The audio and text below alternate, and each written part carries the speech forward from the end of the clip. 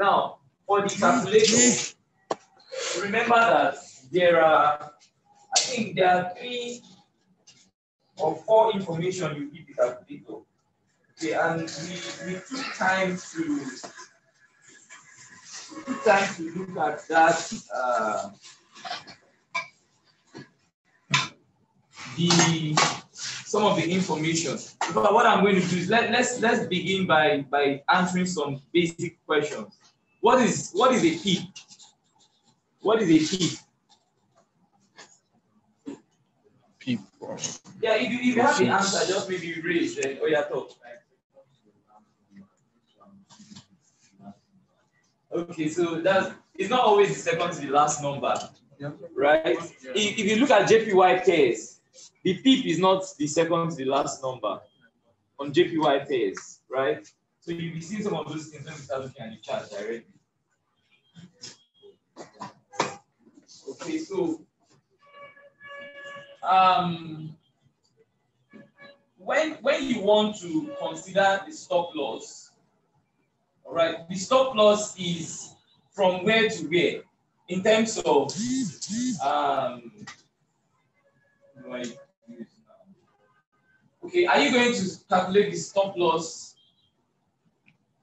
I will just tell you the answer if I ask you the question.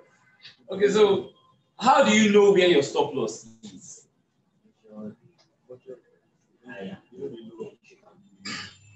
Okay. So, in fact, the thing is, the strategy I gave to you, we are saying that let your stop loss be based on the candle. Some people can take their stop loss based on this entire place, right? And then those those people usually would now look for a higher target, right? So, but I, I don't do that because there is a lot of money to be made in just few movements. There's no point. With a lot of people who wait, they are usually swing traders. They, they, they use a wider stop and they go for a wider target. Okay, so you can still do it. All right, you can still do it. Some people feel that that's the ideal way. Okay, but uh, sometimes I feel it's better for you to use the candle, the entry candle, and then you know you calculate it from that point. That's what I feel, and that's what I do. Okay.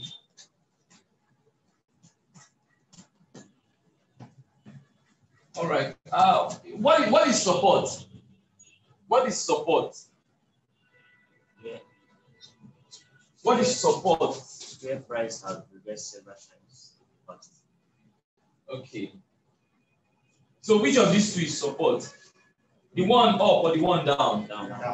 Down. So this is support.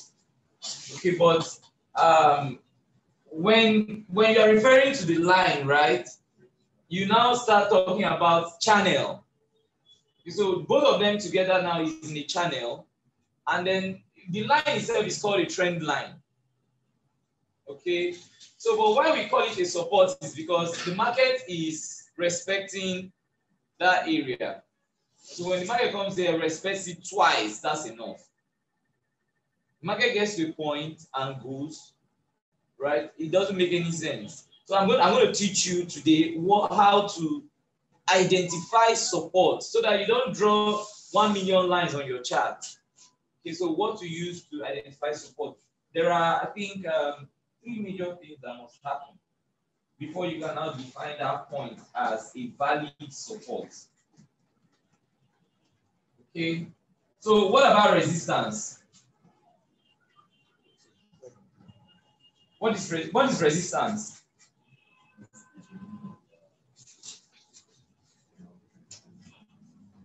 Instance, where price has reversed. Oh, okay. So I This, this, this is if I bounce a ball like this now, if I bounce a ball, the floor acts as support, and then the roof acts, acts as resistance. That's what support and resistance. It's like you know bouncing a ball between the floor and the ceiling. That's that's what happens. And then this, there are several strategies that are based on support and resistance. There are two two ways mainly that traders use to, to analyze the market and make decisions. Okay, it's either you're doing fundamental analysis or you are doing technical analysis. Fundamental analysis are those people that instead of looking at all these lines and all those things, they study some variables about that economy. Like they look at the reports, the earning reports, something we call NFP, that's non-farm payroll in America, the amount of people that were employed or the amount of people that lost their job. So they gather all these things and then they now use it to know that, okay, these people's economy is good. You get? So, and then when they get all those information, they now say, okay, we expect, since these people are still creating more jobs for people, we expect them to have a strong economy. If the central bank is giving people more percentage on their interest, on their money, right? They, they, they expect the economy to be good. So if there is another central bank that is declaring a reduction in the percentage, they believe that the economy is not able to meet up. Is it not? So you know that, okay, this economy is bad, this one is strong. So they trade against it. The problem with that kind of analysis is that there is usually no, there's no, there's usually no specific point. You know the way we can come here and put our stop loss here and put our entry here. We can only do it because we're doing technical analysis. Somebody who is doing fundamental analysis, there's no price, right? There is no specific, the only thing you know is that maybe euro is weak or strong, right? You know that, okay, in the next couple of weeks or months, this particular currency will be weak or strong. Then you make your judgment based on that. So you just open a trade and then maybe use a wide stop loss. I don't know if it makes sense to you. So that's one way to analyze the market. The other way is what we are doing. There are three principles of technical analysis. You can take note. The three principles of technical analysis. Number one is that prices moves in trend. All on all, no matter how the economy is, the price must move in trends. It could be uptrend, could be downtrend, it could stall for some time, but eventually it will move. If there, there, there's a trading range in a particular time frame, if you change it, to another time frame, you can see a clean trend. Do you get?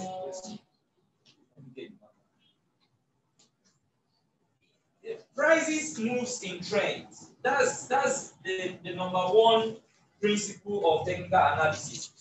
And then what that means is if is a principle that price must move in trend, it means that I don't need fundamental analysis to play trades. I can just go into the market and look for a trend. Is it not? That's what it means. So all technical analysts believe that the price must move in trends. Okay, there is no, there is no, um, there's no way, there's nothing that will happen. Even if, and then what causes prices to move in trend? Is the economy. One is strong, one is weak. It will make trends to occur. It might not occur in all the charts at the same time, right? But there will be, if I have, if I have a trend like this, market moving, uh, you know, in an uptrend like this. This is a simple trend. And then I told you how to identify a trend yesterday. Okay, so once you have, you know, rising bottoms, you have an uptrend. Once you have falling tops, you have a downtrend. Now, even if this price is, not is not moving in a trend, right, is in a range, it won't stay this way forever. To move in trends later. Am I right? Now, but if, if you if you still want to trade on this time frame and you narrow down, you come and then you are you are now looking at just this area. Let's say this is um, daily time frame. Okay, if you come to let's say five minutes, do you agree that just here would be represented as something like this? From here to here. So prices will always move in trends. That's the first principle. The next principle is that all data, every data, every information is reflected on the price chart. Every, every information, both economy, Donald Trump talking, every information is reflected on any price chart. If Donald Trump says something that is bullish, when I say bullish, I mean in favor of, you know what the bulls are. You know how they cow, you know how they, they behave. They will raise, raise you up with their with the horn, right? That's why we say the market is bullish when it's going up. And then you know the bears, they use their power, right, to drag you down. Is it not? So when the market is bearish, it means that the market is falling. If BTC right now is bullish, it's rising. Later it might be bearish when it starts to drop. Okay, so take note of that. All right. So all the information is reflected on the price chart. So even if, uh, let's say, um, there is crisis in Japan, you see Japanese yen falling. I don't need to travel to Japan to know that there's crisis, right? You see it on the chart. When crude fell, I didn't need to, I was watching the chart when it started. I made a lot of money that day. I was, it just, it just started. There was no news, no information. It just started falling. It just started falling. It fell from $37 per barrel to minus 1 per barrel. That was the day I was telling you that one barrel of crude oil was worth less than one tissue paper. Right? So crude had issues. People were at home, they were not moving around. There was global lockdown. Is it not? So if you're not using fuel, it means that the value will drop. That's what happened. I mean, it reflected on the chart immediately dropping. Right? And then as they started to ease the lockdown, it started to increase. If you look at the price of crude now, it's about $35 per barrel. Okay, starts to rise. All right, so the point I'm trying to make is that every information reflects on your chart. Okay, everything reflects on your chart. And then the last one is that history repeats itself. That's why our trading plan will work over and over history repeats itself is that they are saying that if the market has gotten to this point once and twice, traders are waiting for the market to come back to this point again. Because the history that is repeating itself here is there is a reversal from this point. There is another reversal from this point. They expect it to repeat itself. Those are the three principles of technical analysis. Okay, all information reflects on the chart. Prices moves in trend. We can only make money when there is a trend. The market stays like this. You, you place a buy order here, it goes up, comes down, goes up, comes down. You, you won't make any money. You only make money when it starts to rise. So we need it to rise. And then there is a principle that it must rise. So it means that technical analysis can work. And the technical analysis makes helps us to generate more money in a short time. If I'm waiting for US election, it means that maybe throughout this month, I'm not going to place any trade until the outcome of the election. Is it not? So, but I don't need that. Yesterday, you were watching the chart and it was moving. And then we use a simple technical analysis, you know, um, you know, just a simple technical analysis to make a, a judgment to place a trade. And then what I'm trying to say is, in as much as um, all this is true, it doesn't happen 100% of the time. Because the factors that affect this thing is too much. Initially, there was no technical analysis. If you talk about technical analysis, it looks as if you are telling us now to use fundamental analysis. It doesn't make sense. Some people look at it and say, how can you look at the chart and then you're looking at the chart and making decision based on the chart? But that's what we're doing today. And it helps us to generate more money. Okay. All right. So what, what I'm saying here is, uh, I think what brought us to this was the question on support and resistance. So what you are seeing here is resistance. Okay, this is resistance. The, the repetition that it has gotten here reversed. That's got this as, as simple as saying if the price of Coke gets to 150, it will reverse down. Or if something happens, it gets to 200, it will reverse down. It gets to 200, it reverse down. Some people will now place what we call limit order. Yesterday, you saw sell stop and buy stop, right? There was also sell limit and buy limit. Buy limit are the people that will say, okay, the price is still down. It's going up gradually. Assuming this red line is 200 naira price for Coke, they are, they are saying that if the price gets to 200 naira, I want to sell. So if, if, you're, if you want the, the market to carry you, just like it did yesterday, you place a pending order, which is a buy or sell stop. Now, but if you want to buy this Coke at 200 naira, when the price is still at maybe 160, you will place a limit order so you place a limit order at that price, telling the market that if you move up to the point where you get to 200, trigger a sell for me. Because I believe the price will start to depreciate from there. Does it make sense? Does it make sense? So that, that's those are the two orders that you have. You can either use, I, I don't use a market order. And please don't use it. You need to have stayed for at least one year to be able to make, to, to place market using market order. Market order is saying that you did not predefine your risk. You just, you just bought directly. You didn't calculate your risk, which is bad. If you do that, you are not a trader. So the, the two kinds of orders that you must use is either a limit order or a pending order. Why you should use a limit order it depends on the strategy.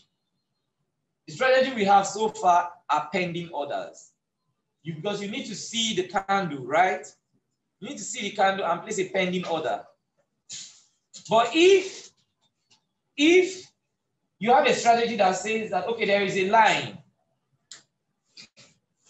and we're waiting for this line, but we want to take a limit order. I take limit order on Asian session because the market always traps people and then the market goes to take a lot of stops. Institutional traders cannot start moving unless they have trapped traders. So they force the price to a certain level before they reverse and go. Usually, when you come to the Asian session, okay, now look at what I do. I'm going to be showing you a lot of things. After the workshop, those of you who are around can always come to the office, okay, from Tuesday, right? From Tuesday we're going to have Tuesday, Thursday, and Fridays. Tuesdays, Thursday, and Fridays. Okay, so yeah. Tuesday, Thursday, and Fridays. Um, Thursday, we have all day because our Thursdays are free. Okay, but Tuesdays will start by 2 o'clock. Okay, 2 o'clock Tuesday, 2 o'clock Friday. So I'll be there. All right. But then you can always come out with your computer to sit down there at the office. I think there's light and then uh, I'm there as well. So if you have any question, you can meet me when I'm there. All right. Because like I told you, you cannot learn everything at once. So it's a progressive thing. And then what I will do is every day I will take up one topic, okay, to teach you, or I will present you with a strategy.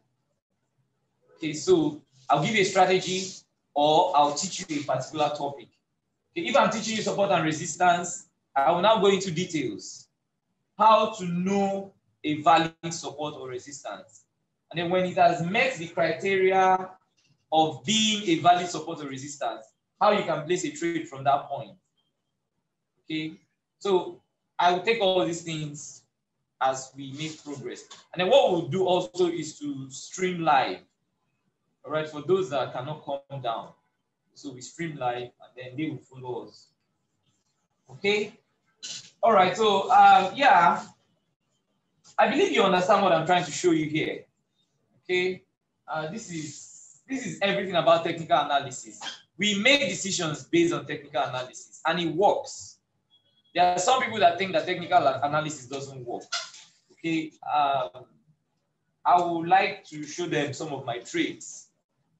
Right, when you see patterns that play out, you know that technical analysis actually works. What drives the market is traders if there is a general consensus, if there is an agreement that this is a valid level to sell from, it might, the market might act very funny here. Take away stops, take a lot of time to reverse, but it will eventually reverse. Okay. So uh, the thing about this whole thing is following a trading plan. Follow a simple trading plan. All right, so let me give you some uh, information that should be contained in your trading plan. All right. You need a trading plan. And then when you have when you have a trading plan, what you should focus on next when you have a trading plan is recognizing the setup. All right. And how you do it is do a back test. I'm going to do a, a, back test of the, the, the ones I'm going to give you now. We will do a back test, a simple back test that will that will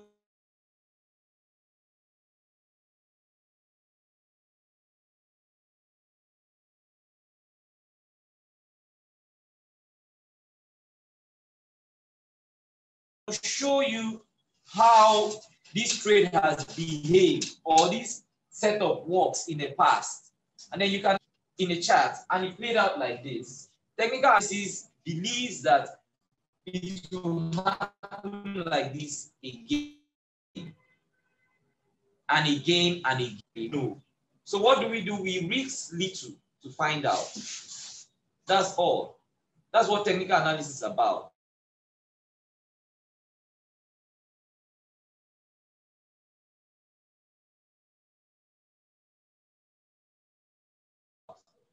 The basis of everything you're doing is to manage risk. When you define yourself as a they don't do it. They don't even understand it. Because I see no reason why you're going to take your hard-earned money and take an odd that is against you. So people take 100 naira and they try, they take an odd that can generate 25 million naira. It cannot work now. It cannot work. is an odd. You know what odd means? Improbability. Is an odd. Can't work. Okay, because and then when you accumulate it, there are several factors that can that will make it not to work. If it works, if it ever works, is just a gift. Is it's a supernatural gift. It's not because you are smart or because you analyze it well. There is an odd, you can never work. It is always in favor of the other person because the other person doesn't have the odd. It is you that have the odd. The other person has the money you put in, but you have the odd and you have given out your money. So it doesn't work okay? And uh, it gives false hope. Because when you do, you think it's going to work. Okay, and I, I know why I'm telling you this because sometimes you might find yourself bringing in these habits into the market. It's very easy. It's very easy. You think that, okay, let me just deposit $100 and see uh, if I can take a trade that can double or triple this thing. It's not good. It's the wrong way to do it. There's no, there's no point in rushing because you will lose the money, and by the end of the month, you will not have your profit, you will not have your capital.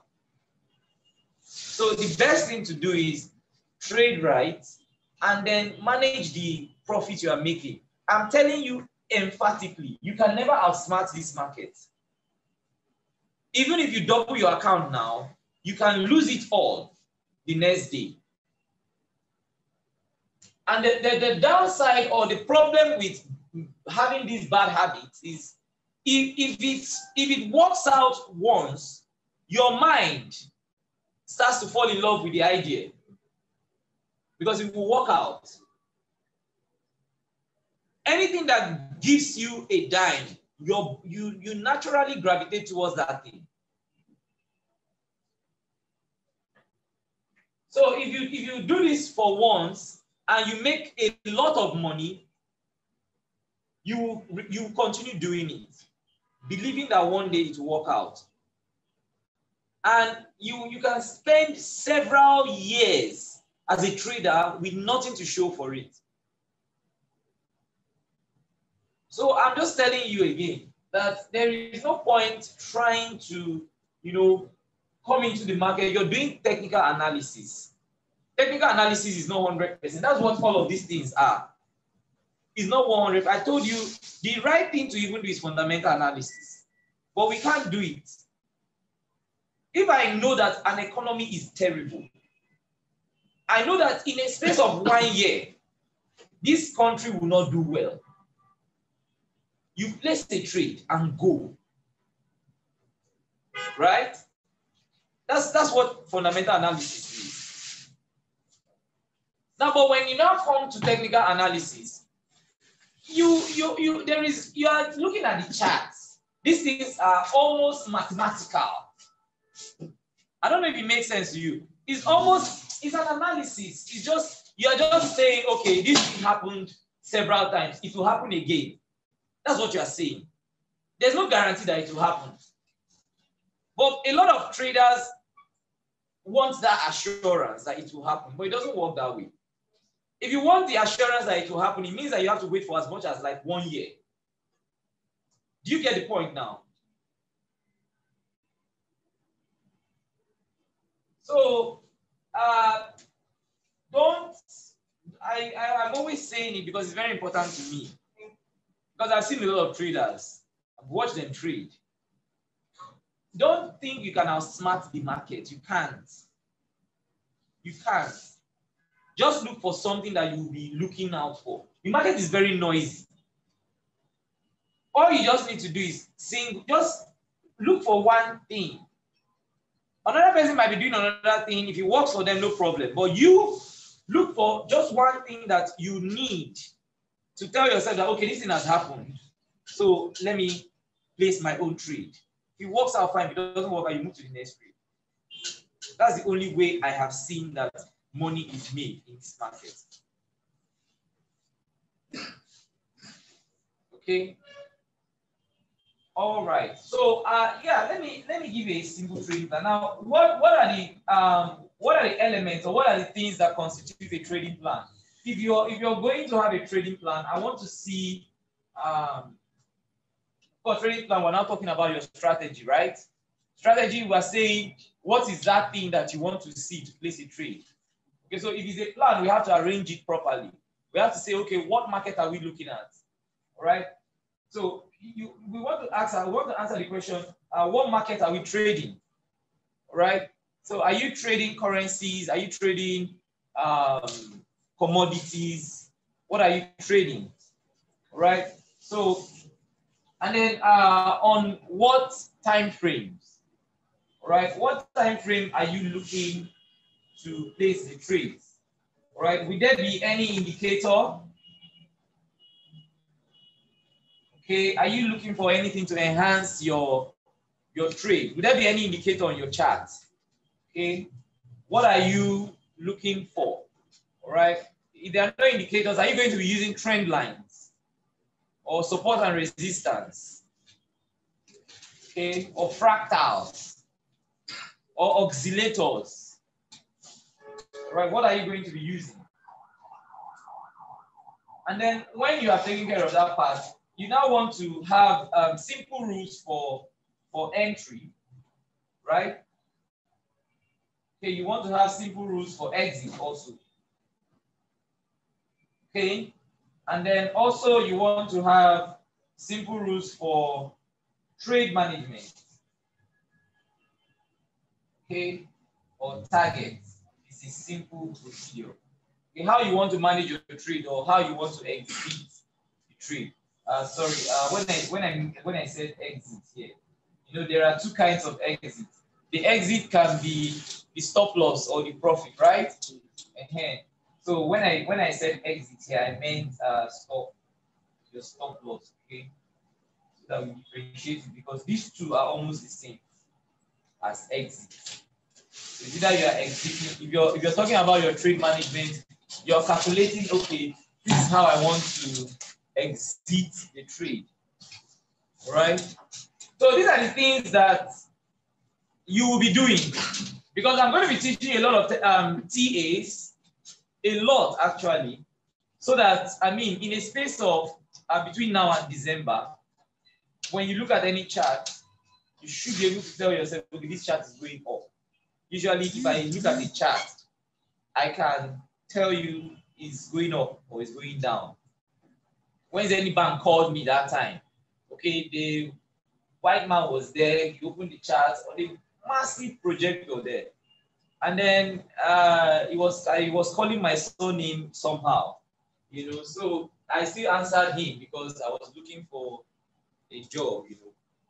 So he now asks me where where I should take a look at the chart. Where what can I say about the chart? Where is he going to? Okay, it was a one minute chart. You know what one minute chart is? It means that every one minute you get. Uh, okay, so I told him, sir, that it, I am I am that I'm not just going to tell you that the next the next the market is going up. I'm telling you emphatically that the next three bars will be green bars. That's how good I am. So he, he continued the market. Now, how did I know? There was an exhaustion bar. There was an exhaustion bar to the downside. So I knew the market had momentum. Did you see the way the market was moving yesterday? When we were trying to place a trade, we couldn't place a trade. A lot of people are countering that trade, but we know that all the bars will be green. At least the next two, three bars will be green. You know, so when he put that in, I told him, okay, the next bars are going to be like this. And then we stayed and, you know, he started playing it. And then over the bar was red for like till the last minute. Just went back up. And oh my heart just went back. you know. So and then it was going up. All right. So it's, it's, a, it's a very simple thing. All right. When you learn a lot of technical analysis, the only problem is that you now become an enemy of yourself. Because this is just, see, to make money is simple. If you can define all this information, you have a trading plan. Now, remember that a trading plan only makes up 10% of the information you need to be successful. Meaning that there is a 90% you need to work on, is it not? There's a 90%. This is simple. That's why it's 10%. I gave you one yesterday. Very easy. This is one I showed you now, the one I wiped. The market goes to resistance. You can sell from there. This thing is not, is not important. This is what a lot of traders spend all their time on. And that's why they remain, you know, on that 95% that continues to lose. Because they are looking for a 10% success. Now, even if they get a, a trading strategy that is 9% or that is very good and then they meet up this 10%, there is a 90%, is it not? There is a, remember I told you, there is a 30% that goes to what? Risk management. Money management, is it not? What's the solution? The single solution to risk management. Use 2%. Max. And don't open more than 6% at any given time. That's what they always tell us. If you're if you're taking 2%, now the, the reason for that is there's something called margin. There is a margin, there is there is a limit you can withstand. And then the market has different conditions. And then there is something called self-awareness. If we if we say, okay, the right thing to do if you're managing your risk is use 2% per trade, all right? And don't uh, exceed, you know, three trades at once, right? Simple English. All right. So it means that at every point in time, you should have a maximum of uh, 6% exposed, is it not? Maximum of 6% of your account exposed at every point in time. Let it not exceed. See, I don't use, I don't use up to 6%. I can't try it. I don't use up to 6%. Okay, you take 0.75 per trade and you have, let's say, four trades. That's how much? Roughly 3% max exposed on four trades. So we, we are just saying don't exceed this because a lot of us might be operating with little capital. 6% max.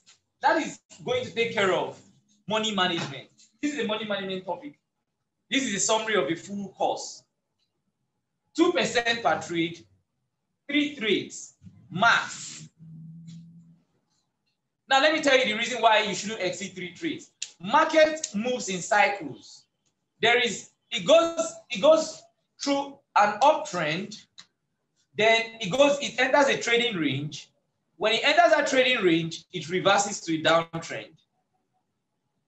Now, it can reverse and become an uptrend after the next trading range, or it will, it will halt for a while. Look at what I'm talking about.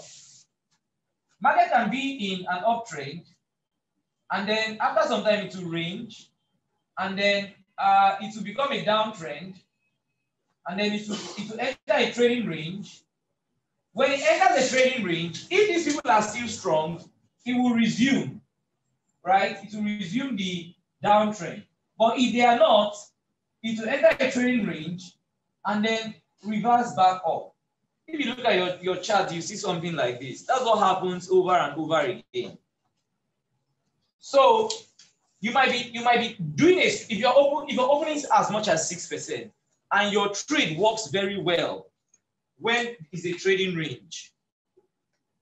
It's only safe that you didn't expose you didn't take 2% in 20 places. I don't know if you get what I'm trying to say. Because if you take 20% in 20 places, you might be in an unfavorable condition. And it means that majority of your trades will be bad. And you have a drawdown. Drawdown to recovery is crazy. If you have a drawdown of 5%, you can recover. If you have a 5% profit, 5.26% profit, you recover your capital. If you have a drawdown of, of 10%, you don't, you, if you get a 10% profit, you have not recovered. You need an 11% profit to recover. I mean, what I'm saying is, if you have 10,000 naira in your account, and you lose 1,000 naira, which is 10%. If you make a gain of 10% of 9K, which is left, right? A gain of 9K will not give you 10,000 again. So you need 11% to recover. Is it not? If you have a 20%, what you have now is 8K. You have lost 2,000. If you make 20% on 8K, you have 16, is it not? You have not gotten 10,000. To make 10,000, you need a gain of 25%. Are you seeing drawdown to recovery ratio now? So you need to avoid loss as much as you can. What about the 50% loss? If you reduce this account to 5,000 naira, half of your account size. You have hundred dollar. You you now you now have fifty dollars. You need hundred percent to recover that money. If you have 5,000 here, 50% loss, now 5,000. But 50% gain will not give you 10,000. You need to double 50, uh, that 5,000 to get 10,000, is it not? Which is 100%. So if you get, you need to avoid drawdown as much as possible. That's the essence of these, these three trades. Because if you find yourself in a drawdown, you, you, you, you're already in a hole.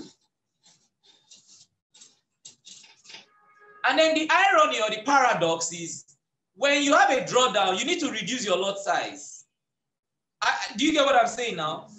Because now you have how much? 5,000. Your 2% is smaller. If initially your 2% was 200, at 5,000, your 2% is now how much? 100. Am I right? That's the paradox. You're trying to make 100%, but now you are, you are forced to use a smaller size. What do traders do? What do they do? They use a higher size. They are now using 400 per trade because they want to recover. Is it not? It's technical analysis. There's no assurance that that 400 is now going to start having winning trades. You blow the account. That's what happens. A lot of people have blown several accounts. Okay? So you now start to see why these ones have bigger percentage than this. Right? This is more important than the strategy. I can design a strategy now. I, I can even call this thing 2% and give this guy 38%. It's more important. The, eh, look at it looks easy. Oh. It's difficult to execute. It's difficult to execute this thing. Oh. You have not started trading. Have you seen profit? You will sit down and you see profit. You will increase this thing. That is the problem. Thing is, I'm saying it now, it looks like it's, it's difficult. That's what makes you a good trader. Executing this thing is very difficult. You need to have, many of us are young. You need to have children at home that you know that you are going to feed before you, you, you, take, you, you execute this thing correctly. It takes a high level of discipline to execute this. But this is where the money is. You make more money when you manage your risk. You lose money when you don't. But greed will not allow you to. Impatience will not allow you to. Right? Last one is uh, 60%, which is trading psychology. Right? Trading psychology. This one is a whole textbook on its own.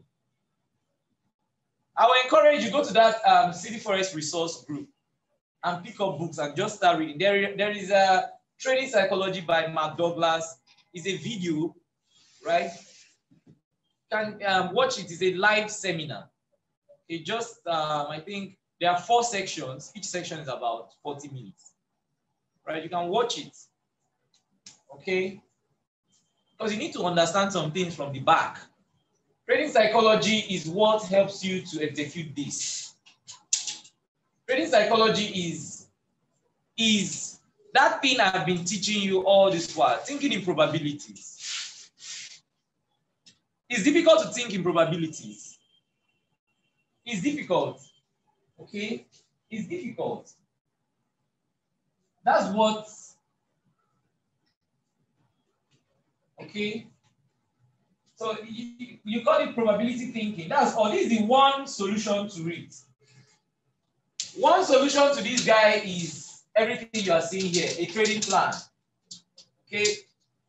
One solution is a trading plan. If you have a trading plan, you, you have the 10%.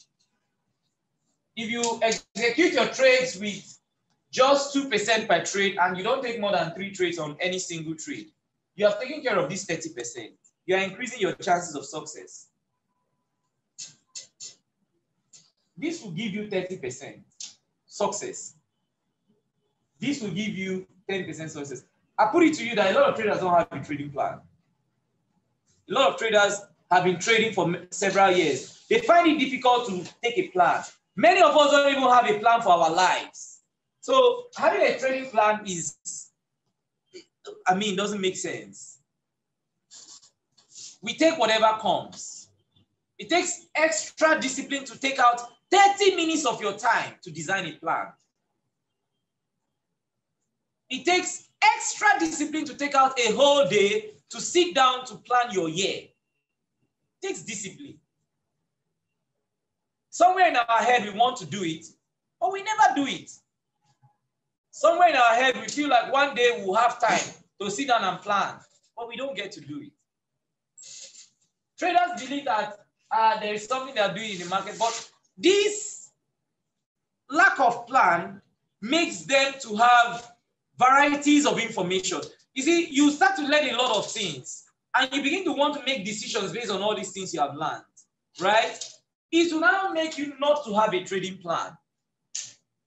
Because you are trying to pick information from here to, to, to determine your stop. You're trying to pick information from here to determine your entry. You're trying to pick information from here to determine uh, how you manage the trade. All these things will stop you from having a trading plan. And then what you realize at the end of the day is that you don't have this 20%, this 10%. And then if you don't have this 10%, you can't even have any other percentage. Because you need a plan that you want to execute 2% of each time. You need a plan that you have to follow with discipline and execute with a mind of uncertainty. And then I believe I've said so much about probability so far, right? I have. One word is usually enough. Why we go over these things again and again and we keep on repeating it is because sometimes you need to hear it. I myself, I need to hear it. I've read Trading in the Zone several times. I have the audio book. Sometimes I just keep it in my office there and I play it with my Bluetooth. I know all these things, but I still have to hear it. That repetition is the, you say repetition is the mother of what? Mastery, is it not? Have to keep on repeating. The only obligation of a trader is to focus on perfect execution of his trading plan. That's the only, your job. If you want to start making money, your job is to execute your trading plan perfectly you are not interested in the outcome. It might be good, it might be bad. Yesterday was good, Abby. Might be good, it might be bad. If we place, if we, we had our first trade yesterday and it hits target, okay, we have many other trades. But I want to tell you something, guys. It's possible that yesterday's trade didn't come out favorable. Is it not? Yes. It's very possible. Okay, now, but it's also possible that many trades will come out favorable. It's possible. This ability to think in probabilities is what gives you this 60%. When you stop thinking in probability, you become an amateur. The day you feel like you are bigger than the market, you know everything that the market does. You know where the market is going. you increase this? What, what would drive you to increase this? You know where the market is going, right? That's why. That's the only reason. If not, you will not, you will not increase it. The only reason why you, instead of you risking 200 naira per trade, you try to reach 1,000 naira per trade, is because some guru have told you, or you have looked at the chart and then you now say, okay, I know that this market is going up.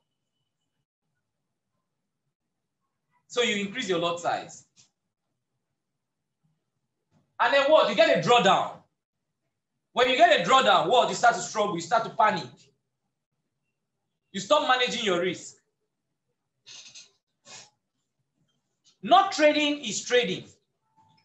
Not placing a trade is also trading. Another reason why you should not increase more than, you should not take more than three trades is, is self-awareness. Golf traders will tell you more about self awareness, a full consciousness of yourself, self awareness to make sure that everything is checked. Self awareness is your mind and body is present. If my woman makes me angry, I don't trade because I won't trade well. I need to check the box for self awareness. Self awareness is hey, we are ready to kick ass. You are present. You are physically and mentally present. If you are struggling with self awareness, some people go as far as doing um, what's it called? Um, meditation. This, this is serious business. You need your self awareness. Now, what if your self awareness is not balanced and you are trading and you have 720 trades open? What happens? You lose all of them and you start to struggle with drawdowns. If your trade doesn't work out today, it could work out tomorrow. If it doesn't work out tomorrow, it might work out the next. If you have a good trading strategy, there are some times that you catch a good trend. If you're, if you're taking a reversal trade, reversal trades are usually the beginning of a new trend. One trade can fetch you the profit of all the money that you have lost. So if you look at it very well, when you follow this method of probability, you make money. Okay, so these are the things that we need for a trading plan. I'm going to I'm going to give you a simple trading plan now, and then we're going to see. Uh, look at the charts, look for it, and then identify it. Okay, so we scroll back and then start coming forward gradually, and then identifying trading uh, trading plan, and then we'll see how it has played out. And then you go and do what we call forward test. So you forward test it on your demo account. You keep on testing it until you are sure that this thing works like this. Remember, don't go looking for trading strategy. There is no perfect one. I give it, I can. There are some people that will give you a trading strategy based on moving average. They will tell you anytime the market bounces on the comes back to that move. You know what moving average is, right? The the the one that moves with the chart. You know, that moving average. Some people tell you that when the market comes to the approaches the moving average, you should you should place an order to buy. It's a strategy. Will it work? Yes. It will work. The only thing that will not work is you executing correctly. You might have waited for so long to get this thing here. So when it comes, you won't use 2%. You want to use as much as 1,000. Am I right? So that's why I said I will show you several strategies. There is always a reason to buy and sell on the chart.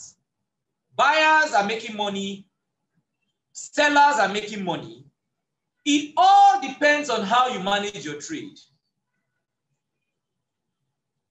At every point in time, if the market is going up like this, buyers and sellers are making money.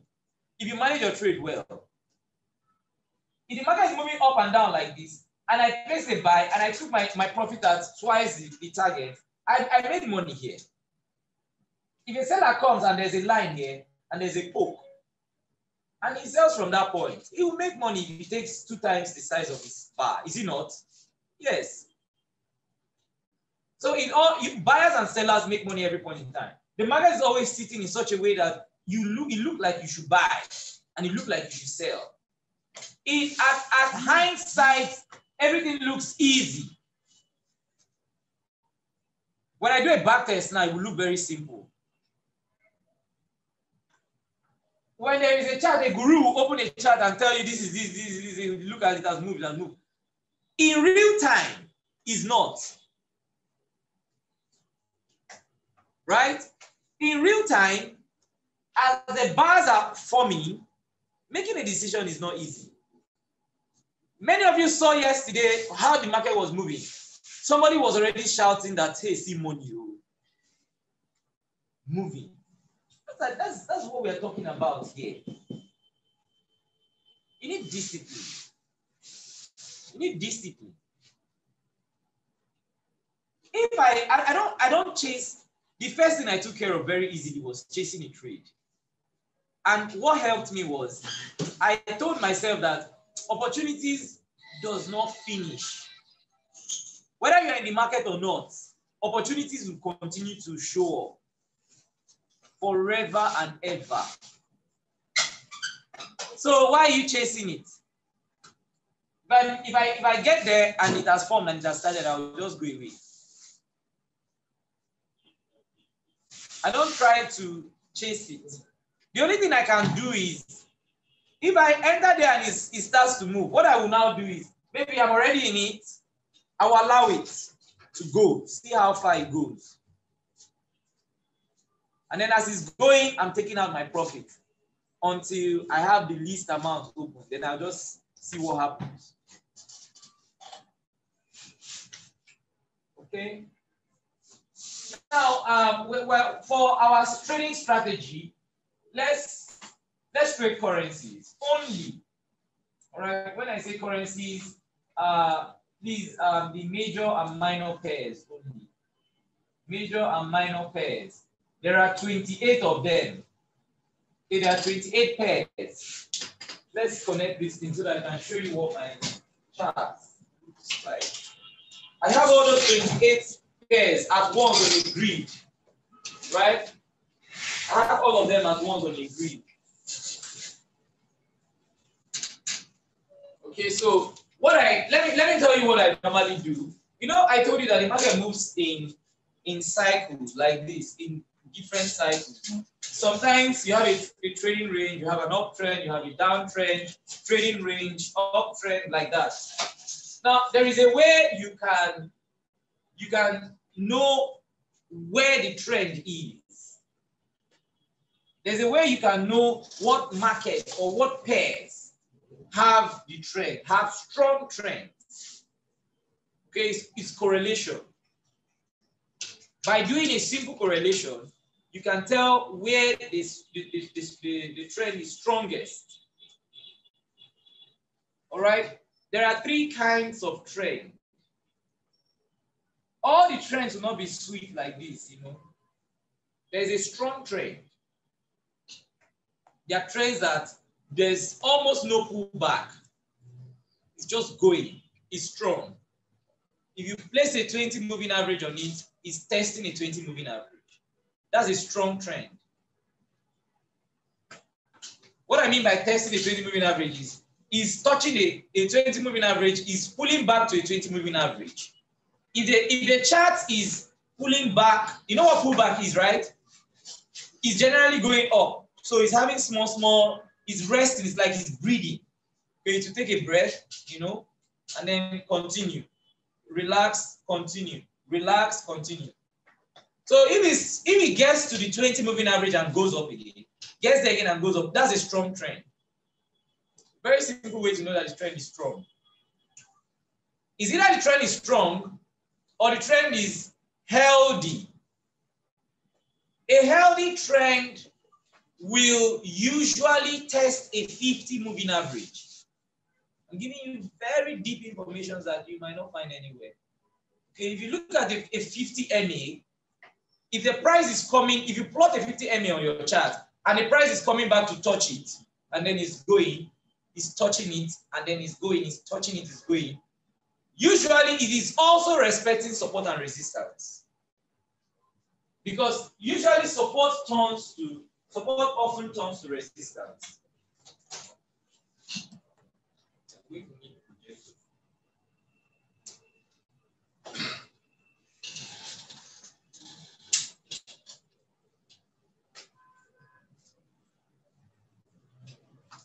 See what I'm what I'm saying in, in layman's terms. If you're not understanding, just be keeping it in your head. Very soon, all these things will make sense to you. Okay.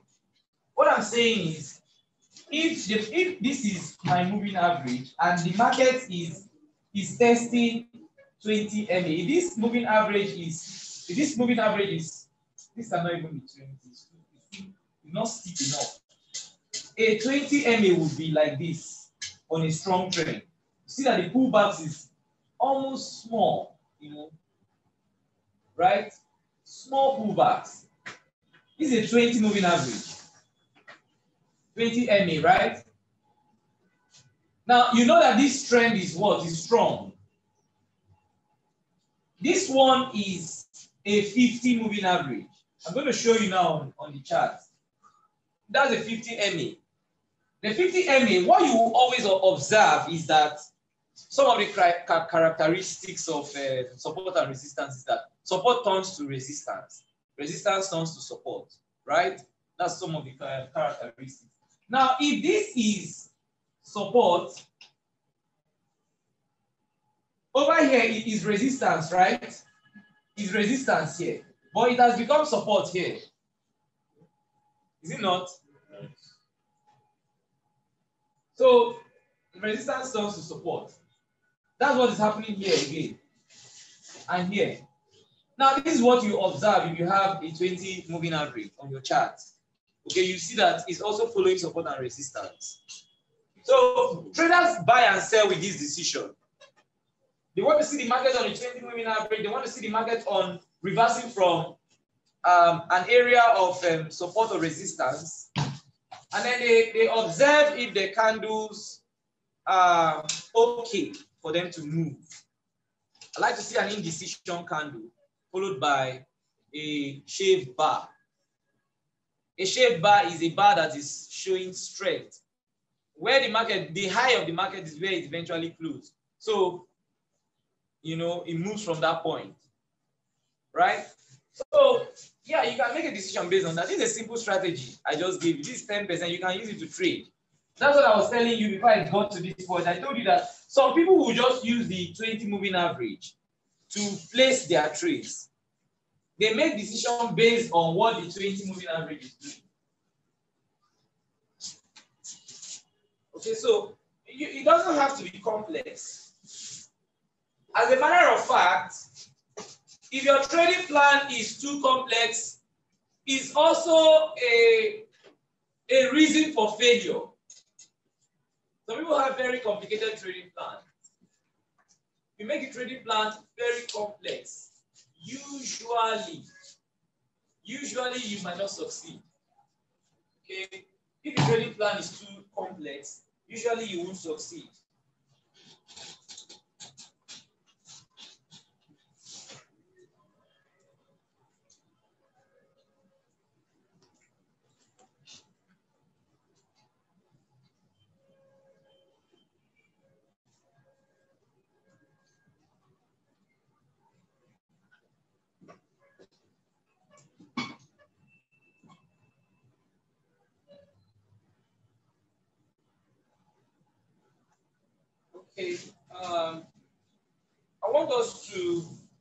At the chart once I'm through with what I'm showing you over there.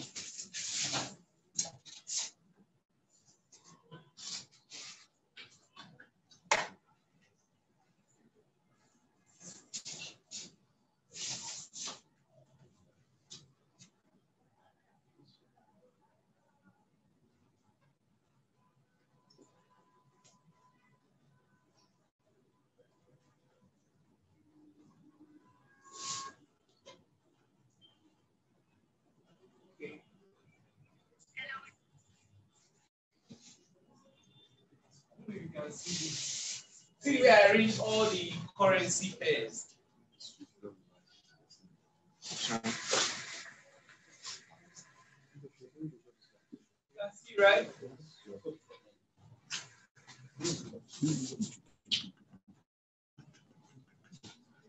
Choose you for me. See where I arrange the currency pairs, right? This, there are 28 of them. There are 28 of them. This is one, two, three. I have seven like this, and then four like this. So for those that have computers, you can you can do it like this. But if you don't have computer, you don't. It means you can't achieve this. You have to use your your phone and then go over all of them one after the other. Okay, now this is a very important thing to do. If you do this, you're going to see, you're going to have a general overview of the market. You know where you know where there is strength and where there is weakness. This is my own cheat for fundamental analysis. Instead of going to the economy and looking at the economic variables that will determine which economy is weak and which one is strong, I'm going to use a, a high time frame and then observe where the market is going to. Take, take this information, it's very important. Now, let me, let me explain the principle behind what you are looking at. If I open the chart and I see that this is Euro USD. USD is pushing Euro down, right? And this is, okay, let me change this time frame. Most of them are in a trading range. So that you will understand what I'm saying quickly. Let me just change to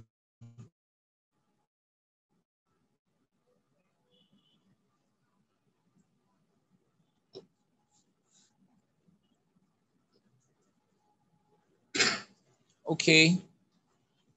This one will help us. Okay, now see, see the point I'm trying to make. It first, this is daily time frame of all the charts. Now, everybody here is USD, right? So fortunately that your projector here is not good. Everybody here is USD. This is USD JPY. This is USD CHF. This is USD. This is USD cash. This is USD CHF. This is USD NZD. This is USD AUD. This is GBP USD. And this is Euro USD. Is that okay? Now, from here to here, there are seven charts for the eight major pairs. Is that okay? USD, Euro, and then all the other ones, right? Now, see what I do. When I come here, you see that there's an uptrend, Abi. There's an uptrend. There's also an uptrend. This is Euro USD. It means that USD is weak. Is it not? Euro, Euro is pushing USD up. Means that USD is not strong. So I don't need to go to America to know what's happening in the economy. If I find out that Euro USD is buying, GBP USD is buying, same weakness, I mean, yes. this is um, AUD USD. AUD USD is also buying.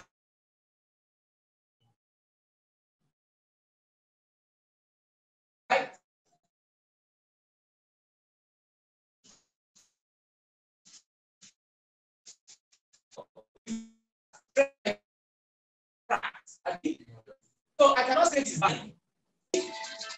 As a trading range for now until we start to see a progressive downtrend. Is it not?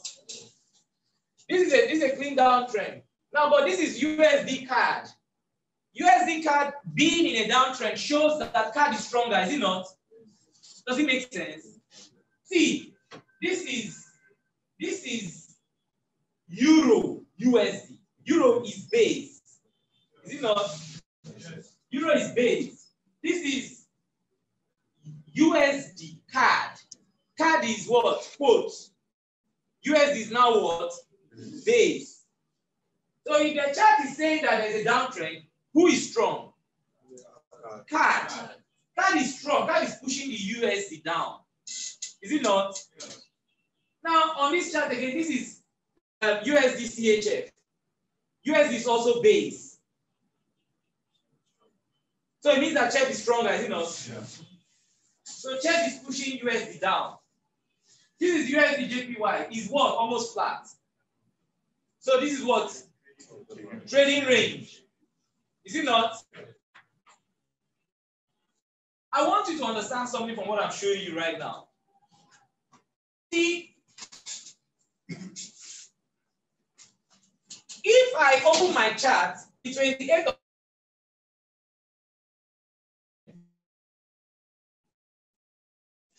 And on this chart is that, you know, from here I'm seeing USD. Now, see the way I do it. I call it matrix system. It's a simple number. I generate numbers for them. That's the best way. When I come here, USD is weak. So I will give euro plus one and give you minus one. Do you get? The plus one means that euro is having a positive number here on this chart. And USD is having a negative number on this chart. Do you get? Now, in a case like this, I'm going to give you zero, zero. You know why? It's a training range. So let me tell you what now starts to happen by the time I go over all these charts. On Euro, on, on all USD pairs, I'm going to have plus one, or let's let's now say in terms of USD now. On this chart, I have labeled this chart plus one in favor of Euro, minus one against USD, not? This one is same plus one minus one, GBUSD plus one minus one, AUD USD plus one minus one, right? This is what NZD USD. NZD USD zero zero. Okay. NZD USD zero zero because the trend is about to change. We're not sure if it will trade, if it will change or it will resume, right? So zero zero. Then this one is plus one minus one in favor of CAD, is it not? This one plus one minus one in favor of CHF. And then this is zero zero again. Now, if we add it up, we would have, we would have generated a number for US. Here is minus one, Abi. Minus one plus minus one. Minus two. Right? Here will become what? Minus three. Is it not? Minus three. Here becomes zero. Nothing. So it's still minus three. Here becomes what? Minus four. Right? Here becomes minus five. And then this is zero.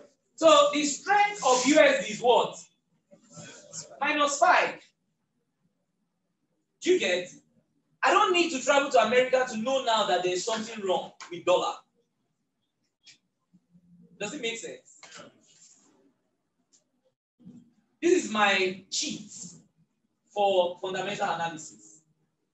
Once I do this, I generate the numbers, and then I know who to trade against and who to trade in favor of. Now, let's now look at let's look at all the pairs that are euro. Let's look at euro pairs. What I have from here all the way down to here, here or here, is euro. Okay. So I have all of these um, USD, right? All of these euro. Then I have GBP. Everybody here is GBP. This is GBP. This is GBP. Then I have GBP here. This is Euro Euro GBP. Euro GBP. Okay. All right. So I'm not going to go over all of them. I just want you to understand what we're doing. Now, if you USD minus five, let, let's look at the chart for other guys. This is Euro USD plus one for Euro, Abi. This is Euro GBP plus one for Euro, right? This is Euro AUD. No, this is um, this is Euro JPY. Sorry, this is Euro JPY. So Euro JPY I have plus one. Then this is Euro GBP. Euro GBP is four strength. See that? Euro when I told trading, in a trading rate, there are some charts. In trends. You remember? See, does now make sense that GBP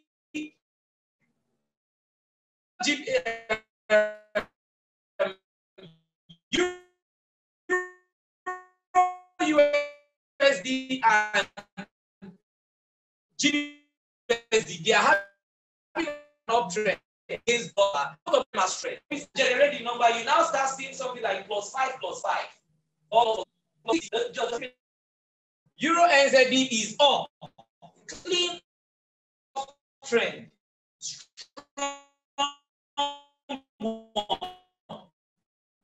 I made a lot of money on.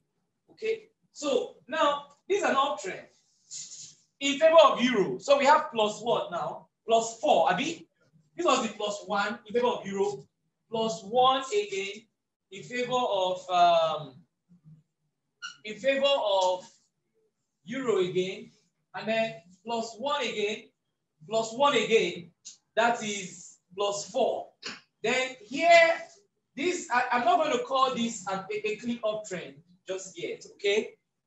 Because the market um, looks like it's, it's really struggling. So this is CAD. This is CAD. So Euro CAD is zero. Is that okay? Now, how do you know or how do you do this mechanically without um, struggling? Look at the 20 moving average. If it starts to get flat, it shows that they are struggling. See here, it's, it's flat, right? It's flat. Here you can see it's, it's steep. It's steep. Going up. See the 20 moving average going up. Here is flat. Okay, this place, uh, I said plus one because it's still going up. Okay, but here is still going up, but here is it's, it's now getting flat. You won't call this steep, right? So maybe at this point, I would have said yes, plus one, Abi, and we would have enjoyed some of this uptrend. But right now, it's, it's struggling. Is that okay? So we, we're not giving this a plus one to euro. We're leaving it as zero, zero. And then this is euro CHF. Euro CHF, ah, this is still up though. It's up because I'm seeing the trend line is somewhere here. It's broken, but the market looks like it's still resuming. Is that okay? So the only time you are going to say the uptrend has failed is when it breaks. Look at this. And then it starts to maybe generate um, falling tops.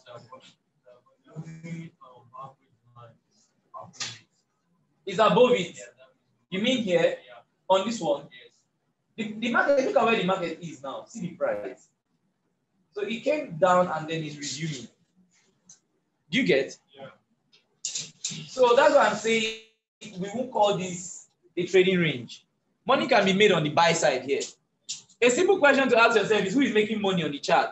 Buyers or sellers? Buyers are still making money here.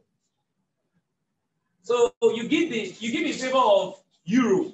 So it means that we have plus five on euro and minus five on USD. Is it not? If you if you don't even know anything in forex and you place a buy a buy stop on euro USD with a decent stop, that is a decent stop loss, you make money throughout that week.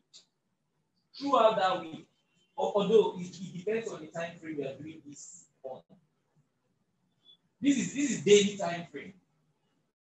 What I do, guys, is over the weekend, I will look at the daily time frame. It will daily, the bars take time to fall. So it will take some time before most of these things will change. In fact, throughout the week, I will just have seven bars, right? From from or even five. From to Friday. We have how many bars? Just five. So and the, the metrics here will not change very fast, right? It will take some weeks to change. So by the weekend, I just look at it. Look at it to observe, you know, if the candles are now misbehaving, you get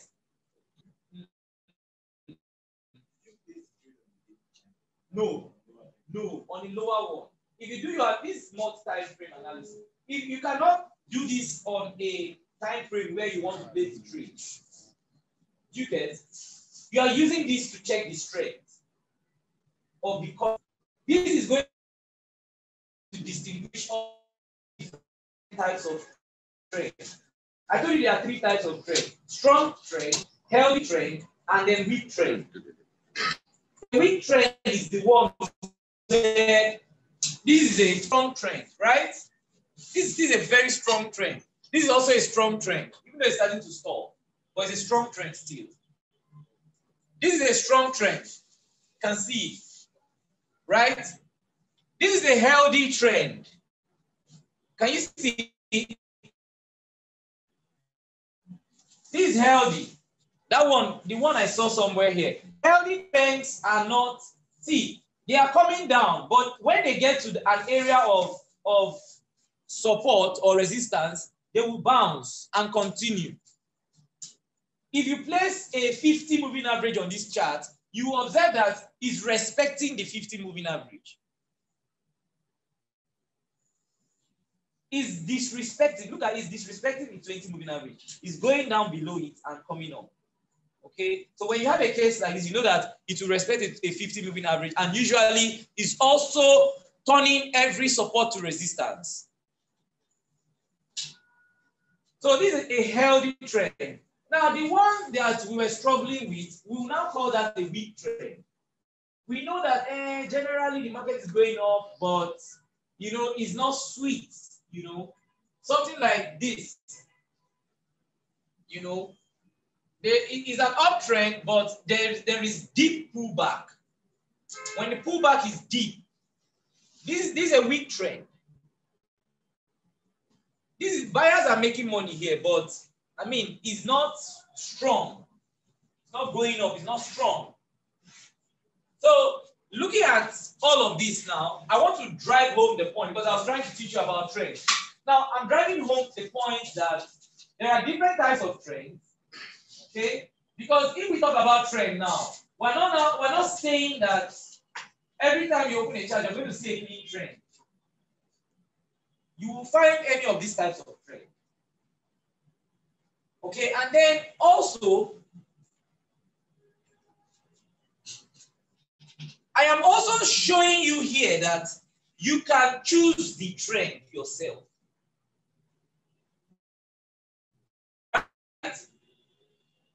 You can choose the trend yourself. Do you agree with me? I am if you if you do your if you do this on this 20 you are not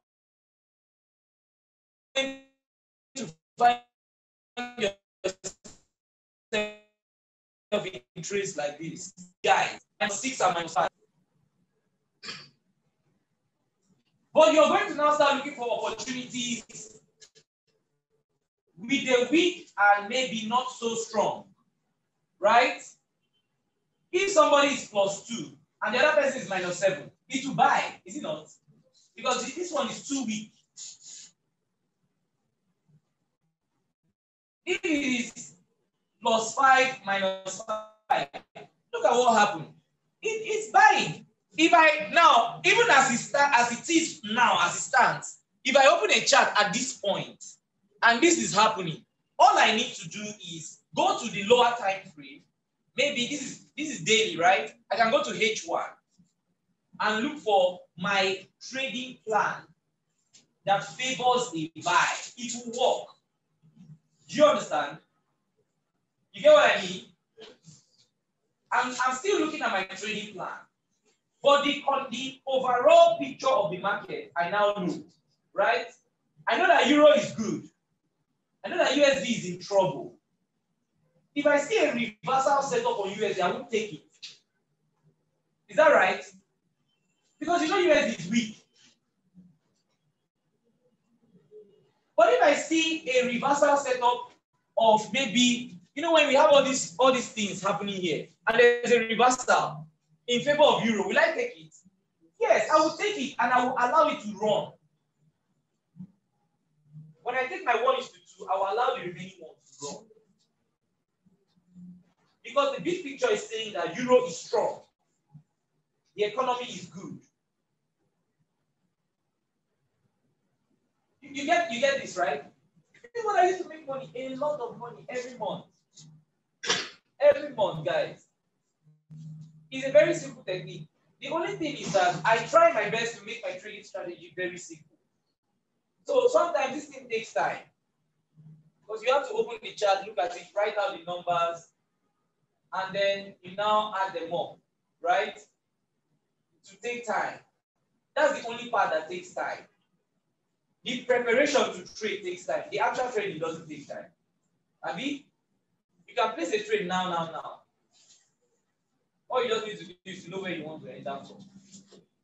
So what takes time is waiting for it and preparing for it. What I gave you yesterday is a very simple trading plan. Look for a, a, a bar. There are some trading plans that you have to draw Fibonacci, Fibonacci, Fibonacci, Fibonacci to take one trade. That's why people risk a lot. If you are seeing many trade setups, you will not bother about risking too much. Is it not? The only thing that should take your time is maybe in the morning, at least three times in a week, you open your H4 chart and do this. And then you know who is going to be strong and weak, at least for the next 24 to 48 hours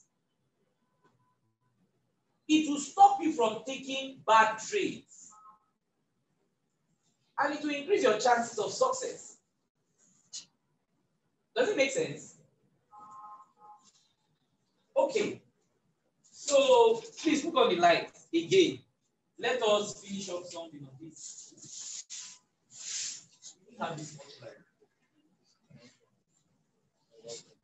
Okay. Okay, so let me let me finish up what we are doing here, right? provide all the information for a, a decent trading plan. We were saying that in plan, and then we are taking care of this. Remember, this is what you need to be a successful trader. No, no, no.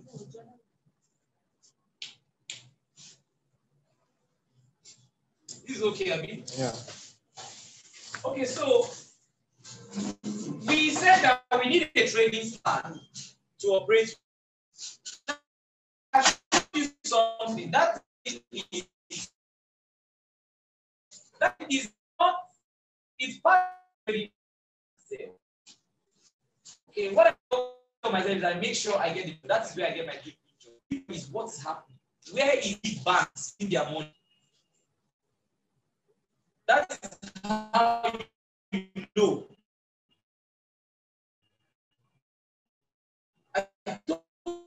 that all information is there on the chart.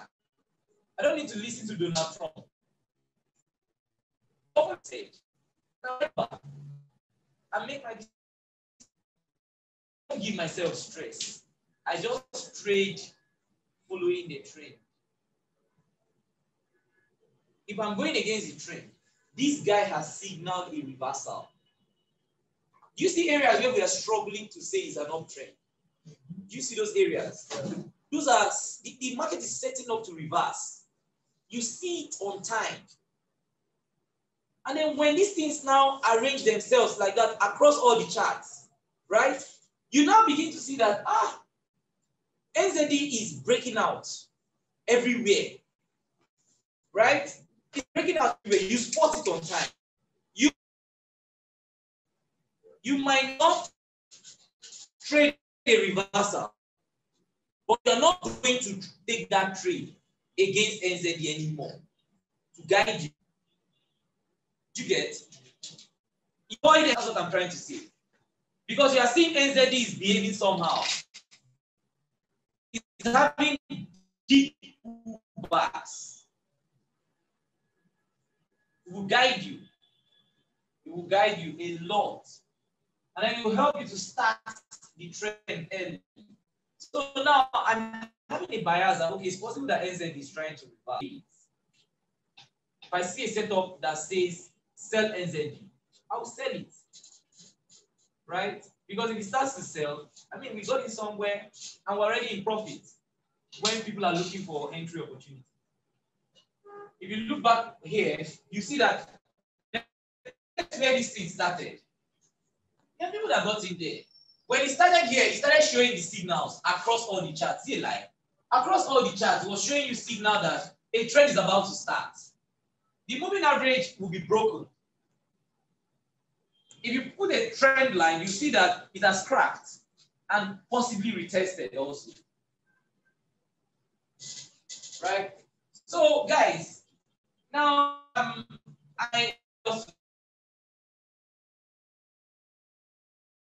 just correct. This is the reason why UCC, I don't do all that. There's a lot of money to make here. You know what you are doing, you make money here. There's no point going around the whole world. Like I told you, what is feasible with BTC, from what I have seen, is to just buy and hold. Take it as an investment. And you're not taking it as an investment as per I'm going to cash out tomorrow or month end or next month. You are looking at five years. Keep putting money in it. It's an asset. You know what an asset is? To appreciate. As more people continue to adopt it, it will appreciate. It's worthless now. But you're going to make up for that amount, the what, you make up for it in time. In five years, hey, I bought BTC when it was 700 per dollar. Go and look at the chart. There was a time when one BTC is $752,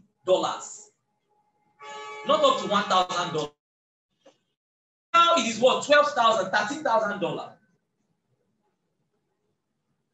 In the next 10 years, you think it will be $13,000. It will never be $13,000. Never. Never. In the space of 10 years, it has appreciated this much. Keep appreciating. As long as it's an asset class.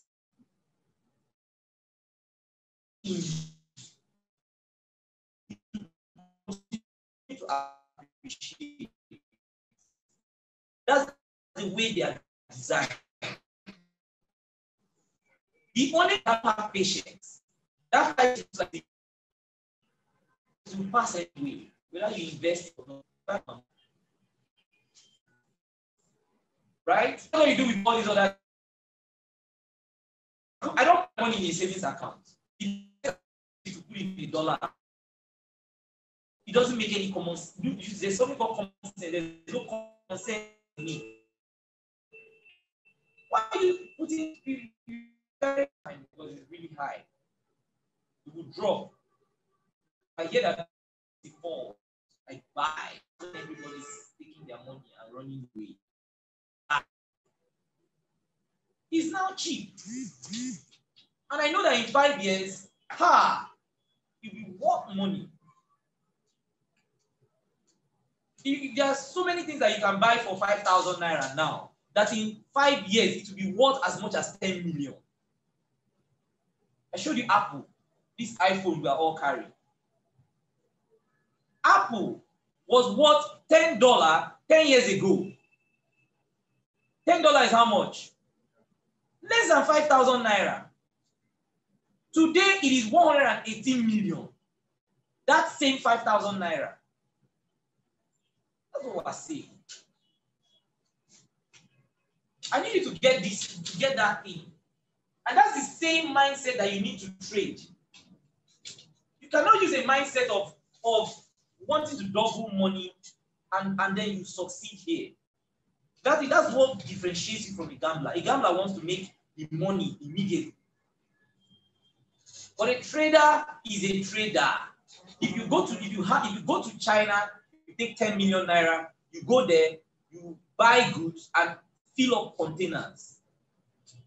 This cycle will take you three months from traveling down there, buying the goods, filling up the container, shipping it, coming back to the warehouse clear it, and then distributing it to your customers. It will take you about three months. And you know how much profit you make? Four million naira after clearing the container. Three months. How much profit? How much profit? About 40% or 30% in three months. That's a trader. And that's who you are. So why are you looking for how to double your own money in one week? You get the picture now. You know, so you got to be patient. There's money to be made, but you have to be patient to pick it up. If you're not patient, you won't pick anything up. You won't make any money. Uh, there's one.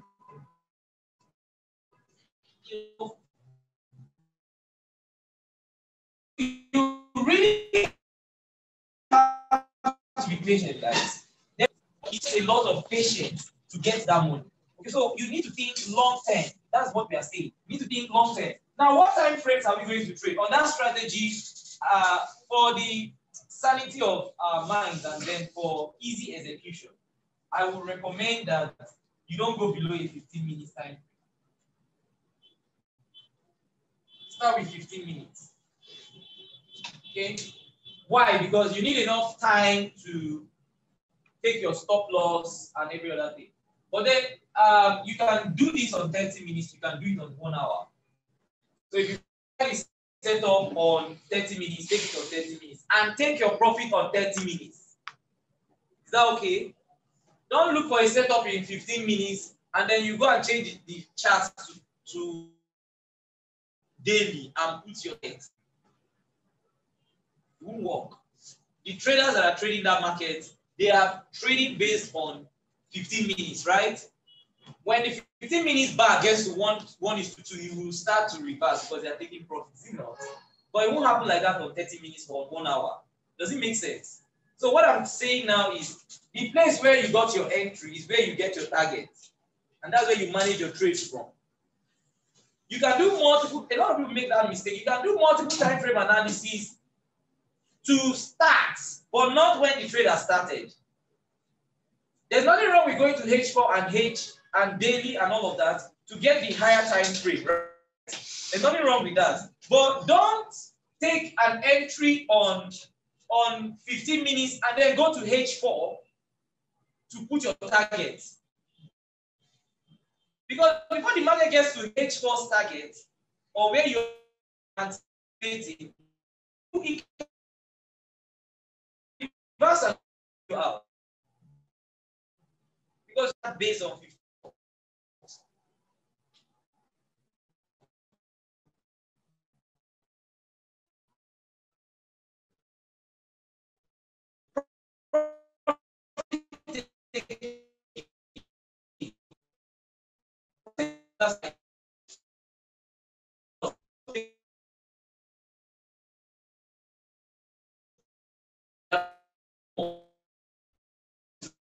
50.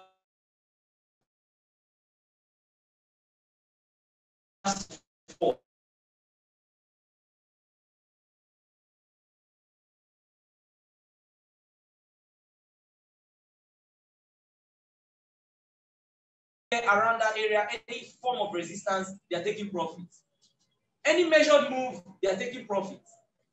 All those things will make an uptrend to go back. If that uptrend is resilient, it will resume and exceed the previous high. And then we say that is an uptrend. But in that uptrend, amateurs are losing money. Why? Because when it was racing up, they were buying. Now there's the pullback, and they can't wait. Pullback continues. He's heading for the 50 MA, he's heading for the 20 MA. And what is happening? They're in reds. And what is happening? Margin.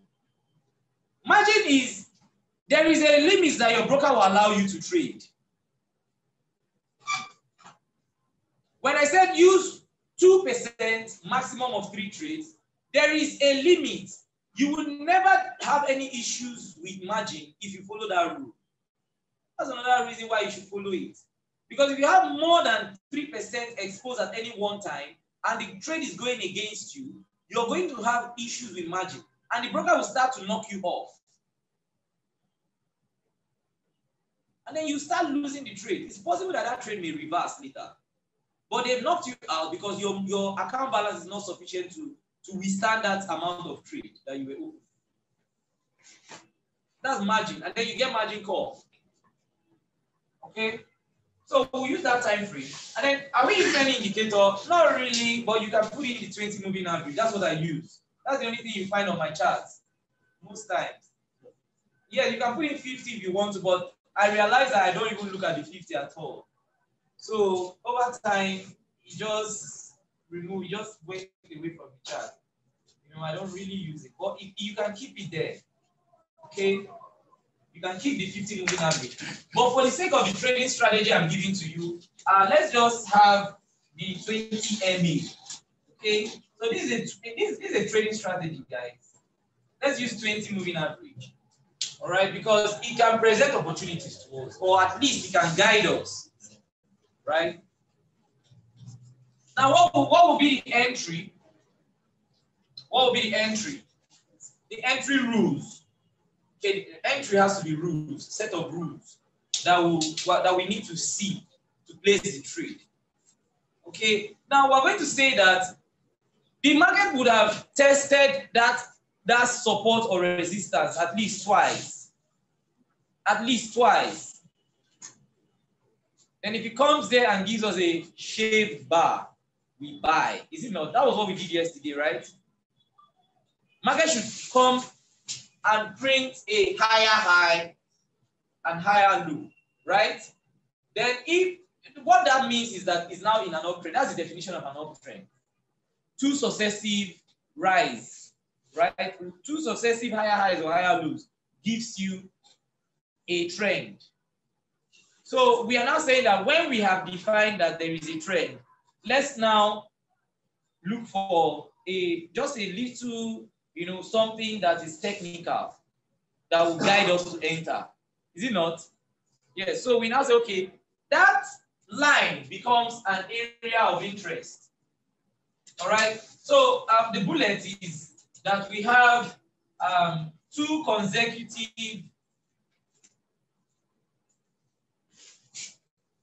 uh, swing highs or lows. All right, two consecutive, consecutive highs or lows that are in line with the trending line or the trend line. And then definitely, if you have two consecutive highs or lows, you can connect two lines to it, Abi. Then you now anticipate. Okay, so when you see two rising tops or um, falling falling tops or rising bottoms, you put a line. And then we're waiting for market to come down there again. So you're not going to buy when the market is high. You're waiting for it to come down. That's called discount. That's what you do in real life. That's what you do in real life. You won't buy when it's expensive. You will never buy when it's expensive. But when they put a sticker and say they're on discount, you, you now start saying, okay, what is the discount? Some people will put the Nigerian discounts are not discount. Discount they don't mean that. You enter there, of. So I begin to ask, Madam, um, you wrote discount on your plan, so that's why I came. Where is the auction? You know, we're not seeing anything on discount. It's still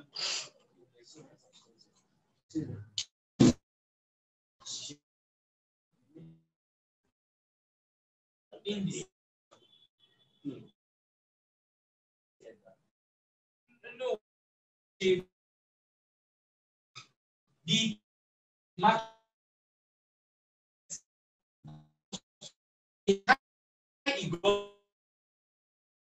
was almost where it closed.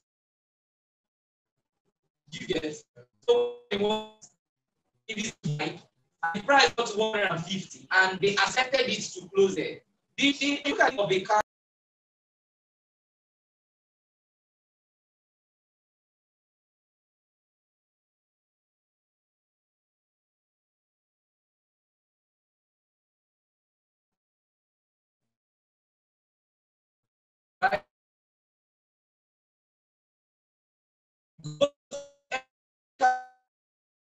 goes wrong with now ah, so this is even a down but towards the end they accepted that price at the top so and then it is almost clean. At least the wick on the top is not showing you indecision. If they drag, if they drag this market in such a way that this is the wick down and this is the wick up, this is indecision. You can't call this a shaved bar, right? Because when the market came up, they, they didn't like the price, they pushed it down. So if you get this, you have to still wait. They are struggling. They are fighting. Bulls and bears. They are fighting. Now, if the next candle now prints a clean shaved bar, right? You know, after doing this, market now came up, you know, and then, am I right? You see that this is bullish. It appears very bullish. Buy, yes, on this. Okay, so we want to see uh, in pictorial form, we want to see something that shows us that there is an uptrend or a downtrend. So I'm going to open that chart and then we'll do a little back test. A little back test. Because you want to see something that, that tells you uh, this is, you know, rising.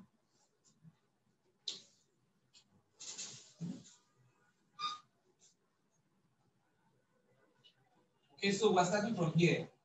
Now you open your indicator, um, your what you have there, and then you draw the line. Okay, so we have um, the market gone up, gone down. What makes, take notes, this is very important, take notes. What makes this a valid point is that it led to a high, right? What makes the next one a valid point for us to use it to connect the trend line. I'll teach you how to draw trend lines, how to draw support and resistance. What makes it valid? Because your, the market doesn't go straight up or straight down. So you're going to find that, you know, you have something like this, you know, coming down. And then sometimes you have to struggle with uh, which one do we use, right? Yeah. The right one to use is the one that led to the swing high. If, if, now see what I'm saying. Let's still use this example I have here. Let's say that, uh, okay, this one exceeded, right? Now I'm not going to connect, I'm not going to connect this line to this plate. Okay? You know why? Because it is this one that gave us the swing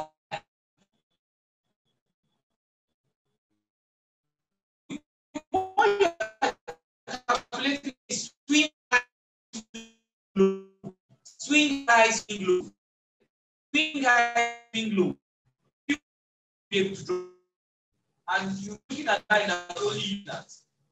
So if you want to look at it, so this is one swing here that led to, uh, okay, this is the entire swing. This is not a swing, right?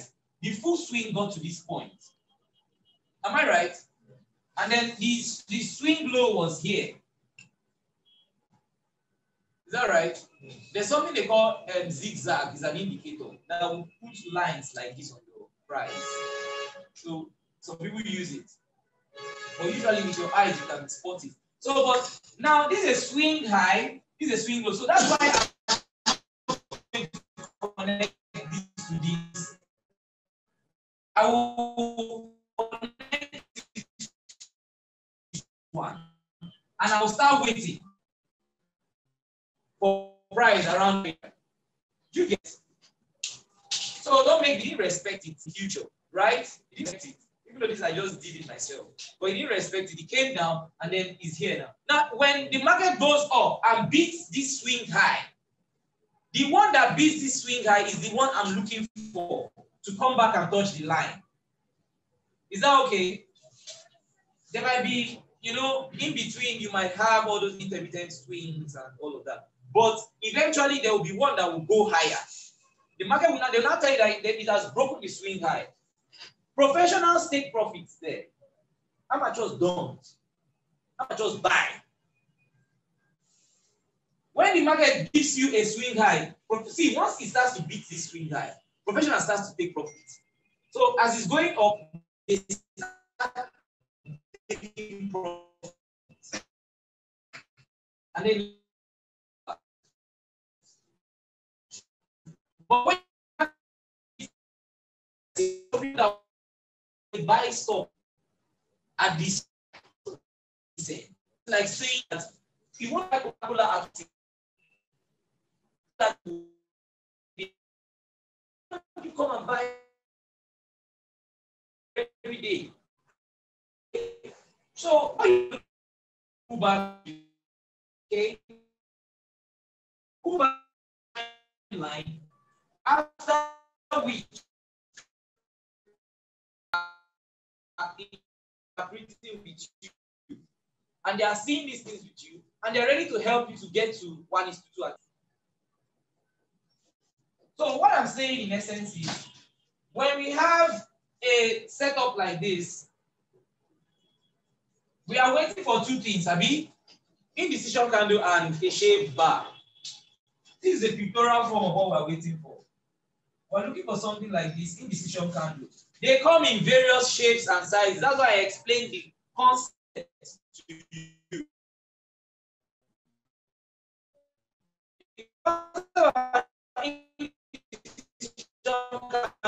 Is that they are. The next thing you want to see are, want to say, take your take your entry. Okay, most times the market might go up from that point and it will never come back for many, many bars. Many, many bars. You get your one is to two and you get your Jara. Sometimes you look at the market, you think that it will go up again. Keep going up. You think it has gone up, ah, it has gone too far. It will still keep going. Okay. So yeah, I don't want you to cram anything. I want to see there are ways. See, I'm taking you directly to the way you trade as a professional. I find it difficult to take people through all the phases. There is something you call mechanical trading, where I tell you, I use oscillators and maybe indicators. I'll just tell you when this alarm rings and this alarm rings, buy. That's how that's how you trade mechanically. When this the market goes to zero or goes to minus 20, the oscillator goes, you sell. Oscillators, there are two types of things you can introduce to your chart. They are called oscillators and indicators. It's either anything you call you know what oscillator is physics, right?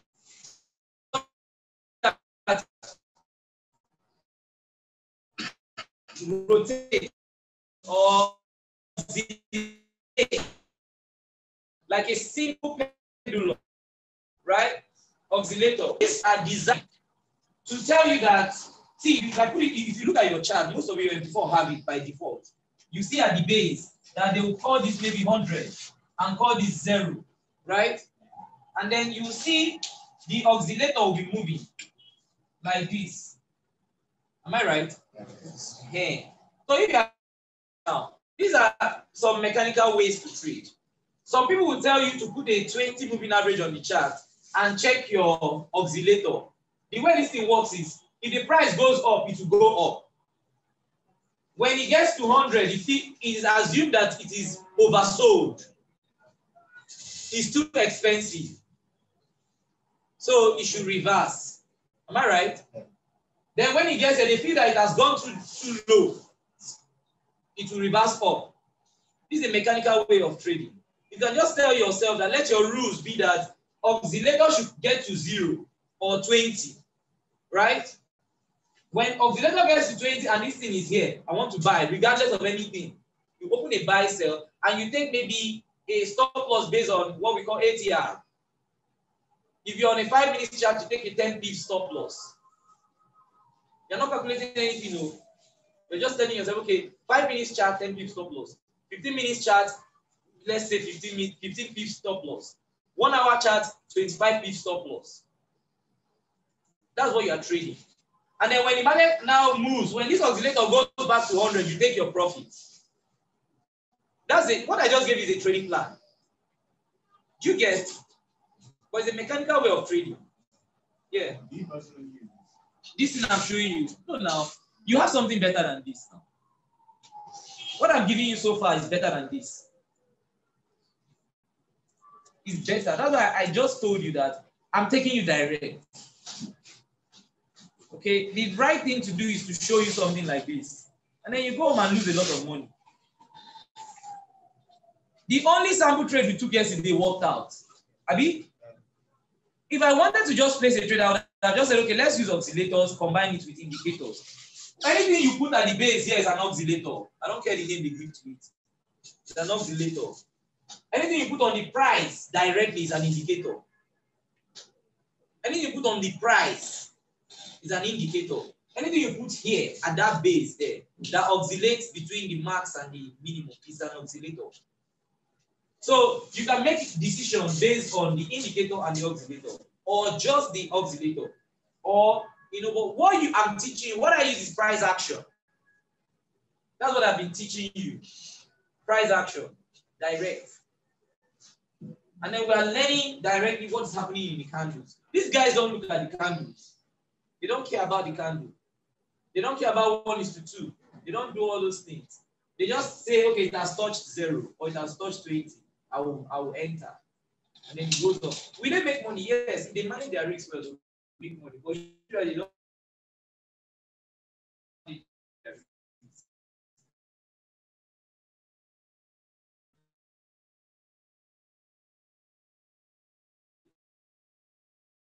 Sorry.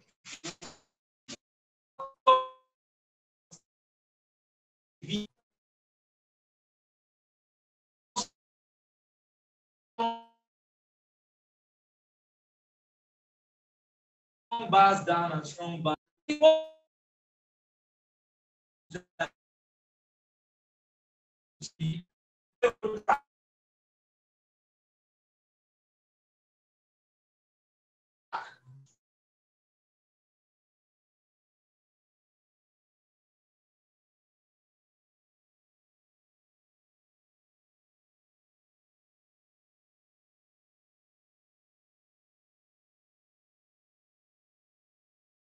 railroad track. And then a lot of people make trading plans based on railroad track. Sometimes it's not exactly engulfed. Okay. Sometimes the green might exceed it a bit. And then you have a pin bar. Abi, do you understand what I mean by this? So you have taken out the red, and then um, you have some green on top of it.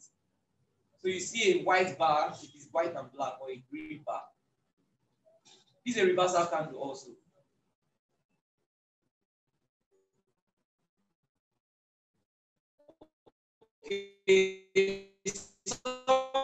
Sometimes you see a engulfing bar. The red candle comes out, picks up the entire red as it didn't exist. Is also a reversal pattern. So some people wait for these reversal patterns around this area of sensitivity. When they see it, they trade it. But what I want you to understand here is that if there is an area where people are waiting for to make a trading decision, and there is a shaved bar, it shows the result, it shows the presence of those rules. That's what we're trying to say. It might not work all the time, but at least it's showing that these buyers are back here. It can go up a little and reverse, and then you are wrong. No problem, it happens. Right? You take that and then you move on. Okay, so part of our, our rule is that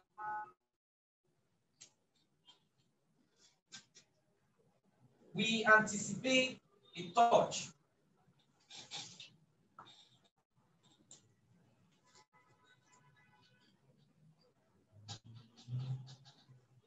on the trend line. Okay, we anticipate a third touch on the trend line.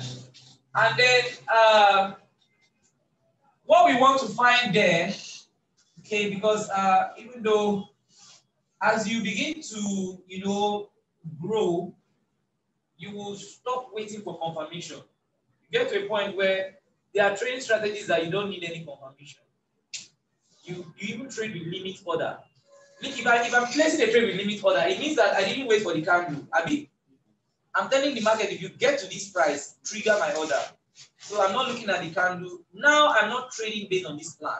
If you're trading a plan, follow the order and follow everything about that plan. If you're trading another one, don't mix it up. Don't confuse yourself. If you want to do limit order, it's okay. I take limit order on Asian session. On, on, Asian, on the Asian session, when the market starts the London session, it will first of all go down and take away all the stops before it starts to run in the right direction. So if I know that euro is strong and USD is weak, I will go down to the five minutes time frame or maybe 15. And then you know what I will do? I will take a limit order that says that if there's any pullback down, pick my buy, buy order. Do you get? So I, am putting a limit order there at the base of the trading range. So I'm telling the market, and then my stop loss is down. I'm telling the market, if you come low to the base, Asian session always is always tiny, tiny. You have seen them now. You know, you see them on your chart. This, is usually how Asian session, it doesn't move. There are some times when it moves because of Australia. They, they have news and other things, it might move. But most of it doesn't move. Now, but if this if this is euro and USD, it's behaving like this early in the morning because there's nobody to trade. Is it not? They are not traders sitting on their desk to trade. But once London opens, the banks in London, transaction begins. The institutional trader will not just allow this thing to go and start rising. Since euro is stronger than USD, it won't go like that. What will happen is that the market will come and then hunt stop. That's what they call it. It hunts stop.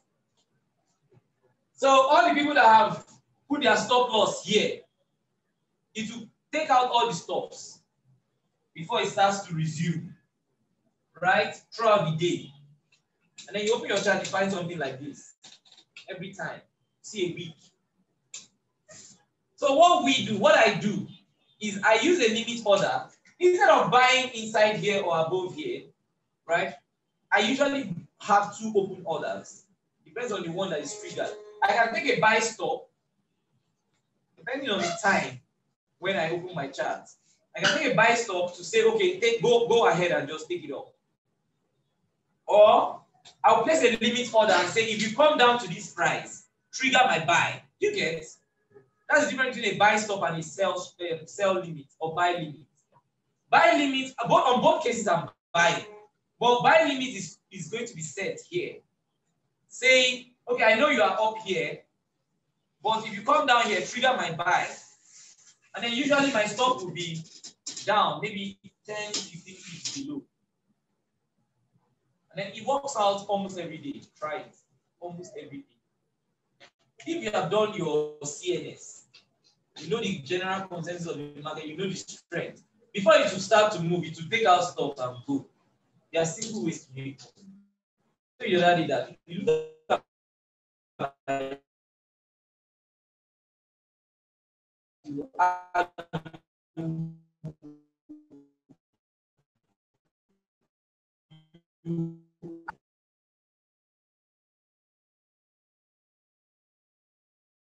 don't about when you are coming. So just take it slow.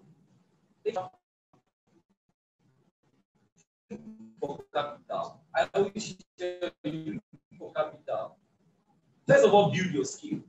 Once you are sure that you are trading the right way, have a demo account that has a, a decent track record. You can start from there. Okay? At least when you have proven to yourself that you can do it, you can have a uh, what's it called? You can have you can trade for institutions that will give you money, prop firms can. And then you make cash from your house. I have a lot of students that are taking $10,000 account with FTMO. For that account, you just give FTMO $170, depending on the exchange rate, but they use euro. So you pay them about 170 to $180, they give you a $10,000 worth account. And then you pass through two stages, the challenge phase and the verification phase. In this phase, what they are asking you for, they said make 10% profit within a space of one month. Make 10% profit. Don't lose more than 10% within a space of one month. Don't lose more than 10%. And in a day, don't lose more than 5%. You see the rules? That's all. Don't lose more than 5% in a day. Don't lose more than 10%. You know, when you open your trade every day, you take 2%. It means that you can't take 2%. You have to take, or if you take 2%, you can't take more than two trades in a day, right? So that you have some 1% buffer. So you take 2%, 2%, two trades, or 1% in four places, 0.75%, right? Place the trade. Look for your setup, place the trade, just do it. You make money then. You make money. Then you generate more than, if you can do it in 10 days, you move to the next stage. That's the way they design it. You do that in 10 days, you move to the next phase. And then in the next phase, the rules are the same, just that the time now is 60 days. You now have as much as 60 days, but not to make 10%, to make 5%. So they are telling you verify what you did the previous month.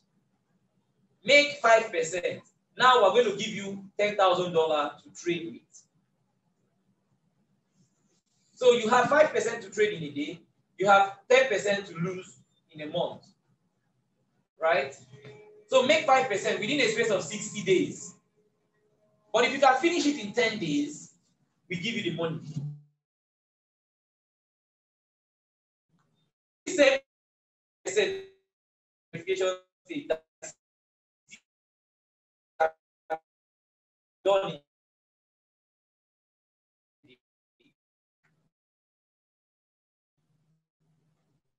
Unfortunate and give you the money. Able to make at least twenty dollars, twenty percent. When you make twenty percent, that's two thousand dollars. They take thirty percent of that two thousand dollar and give you seventy.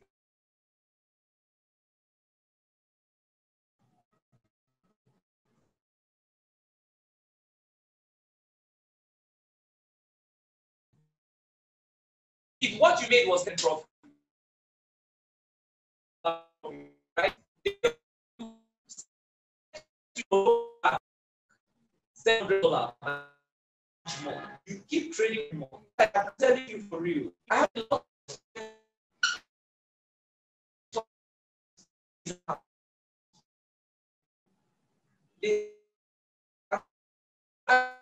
For real.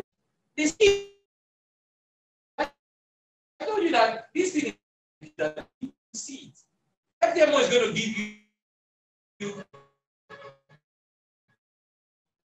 500 to the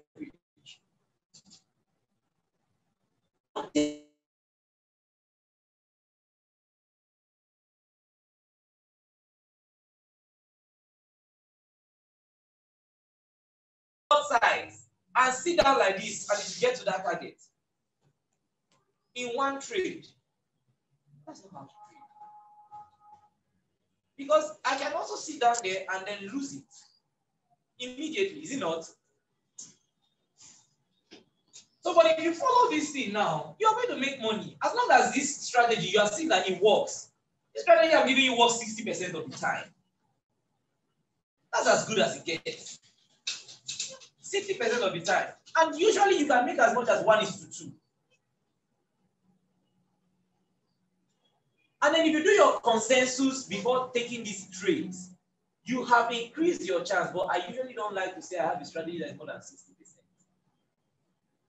Because every at every point in time, the market doesn't stay below or beneath 60%. Nobody will take the opposite side of the trade.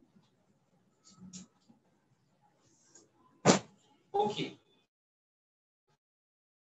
So, uh, writing down this route, the next thing is that we want to see any decision and now um, an indecision might not clearly be this.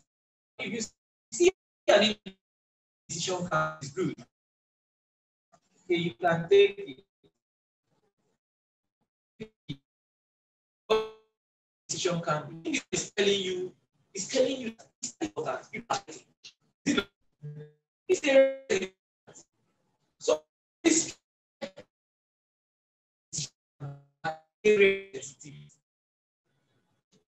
so the marubozu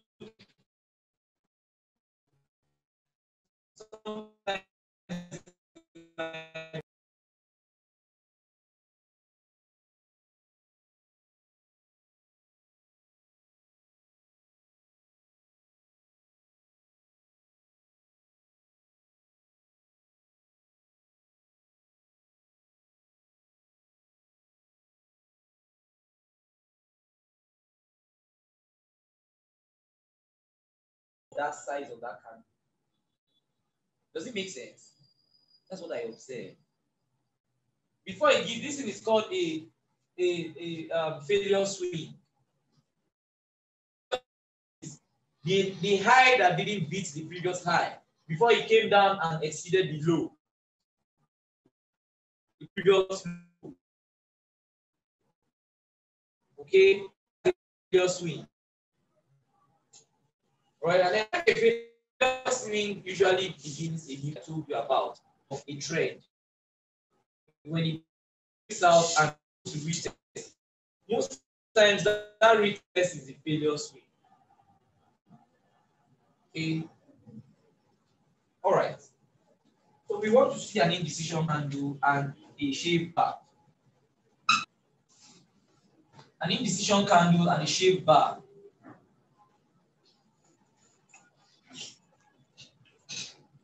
Okay. Now our stop loss is going to be, yeah, of course, this, this is all you need rules. Simple rules. The, problem is not here.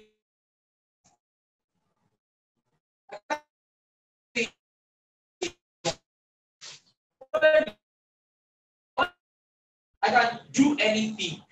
If you newborn to feed, let me balance that and trade max at every point in time. That that is consecutive losing trades to blow that account.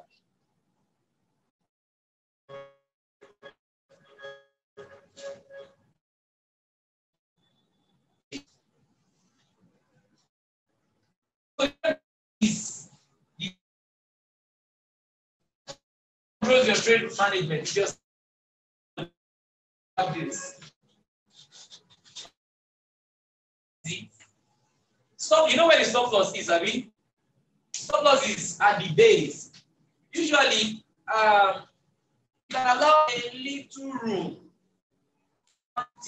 below the big bar or the swing low. When I, I say swing low, what I mean is when this market tries to resume, you enter, you go in with a pending order to buy, then you are swept with the trend. Uh, the swing low, just close to the bar, is where you're entering from. The computers that are taking profit at one is to two, they are taking the exact height of that.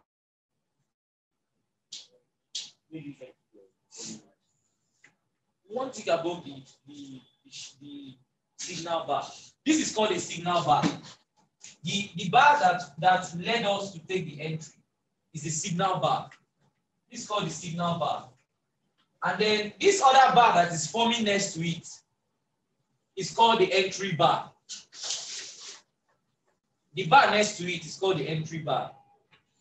I like to see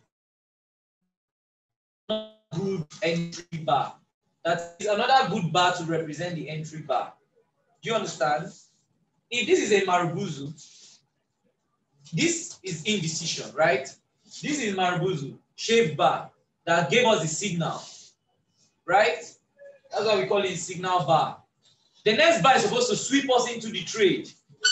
I like to see that. I don't want to see a bar that is red when we are buying to trigger us, right?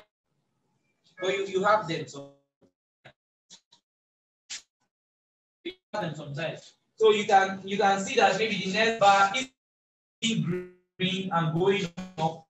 The next bar something like this, right? And then and you exit, but then it continues. Happens. So this, this red one here because that's the part that triggered the, the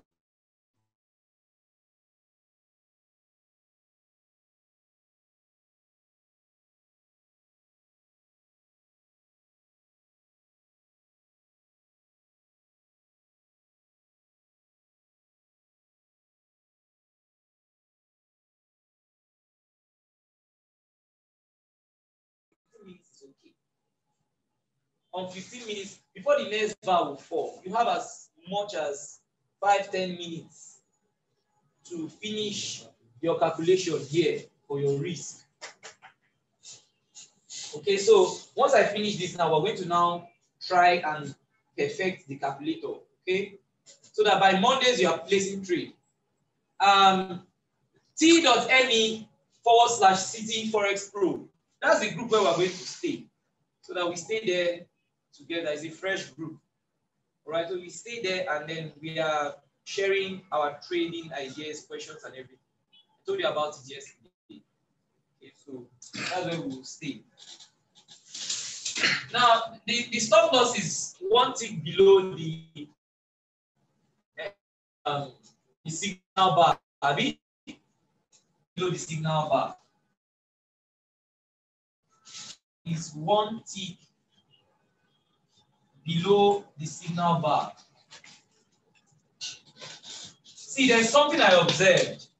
A lot of people don't make money in the market because instead of, you know that I can make money when I when I calculate my risks inside this bar and the bar starts to go up. I can make money and then I have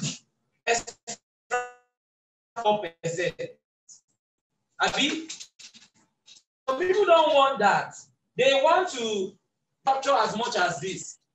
Am I right? Yes.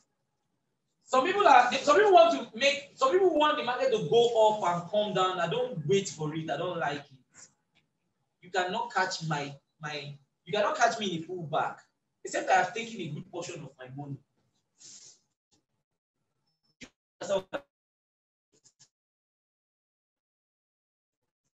I have a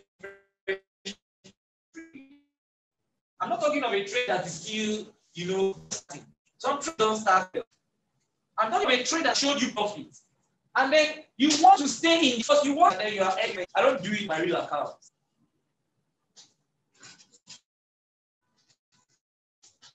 Okay. The business here is to make money. That's what we are doing all of this for. If, if, if the computers are doing this, I'll follow them.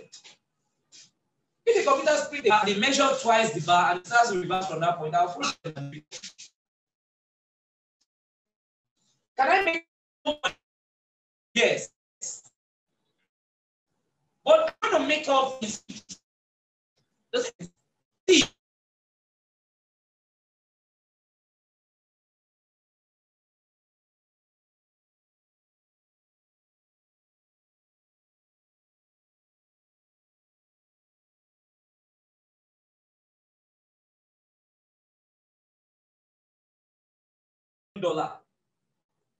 Is that okay? It's possible for the market to continue. Now, I'm making up in pips, in amount, what I'm getting in pips. Now, what I'm looking for is 50 pips, right? With that $3. There is there's something we call trader's equation. You can't have everything, you can't have it all. You have to give up something for the other. If you're looking to take 10, one standard loss, $10, depending on your account anyway, and then you are also looking for pips, 50, you won't make it. I know what I'm saying. Right? But if you're taking, you know, small size, and you're looking for pips, it makes sense. That's what I, I meant when I say capitalize on the movement of the market. The market moves. And when you do your CNS, you're going to avoid all those choppy charts. So you will really see yourself in markets that move. So you need small size in a market that will move, you make money. Big size will kill. Small size can never kill. You have to take an I don't care size. A size that you don't feel. If your size is disturbing you as the market is moving, put it off. You're not trading. It's not supposed to disturb you. As the market is moving, it's not supposed to affect you. Yesterday, when we placed our trade, we all went home. Nobody was disturbed. Am I right? Nobody was disturbed. And then somebody sent me a message and said, ah, it has hit profit. That's how it, that's how professionals trade. Let's trade and go your way. Some of you have other things you are doing. Let's trade and go. Some of you are students. Some of you have other things. You place your trade and go away. So these are our rules. And then for trade management, uh, I'm not going to make it complex. I, I, I just told you what I do. I don't sometimes at one is to two, I don't take everything, but I try to keep some part of my money. At least I keep as much as I risk. At least. So that I don't move my stop. I don't move my stop, but I have collected that amount I am risking at one is to two. Do you, do you get what I just said? I didn't move, I didn't move my stop to break even.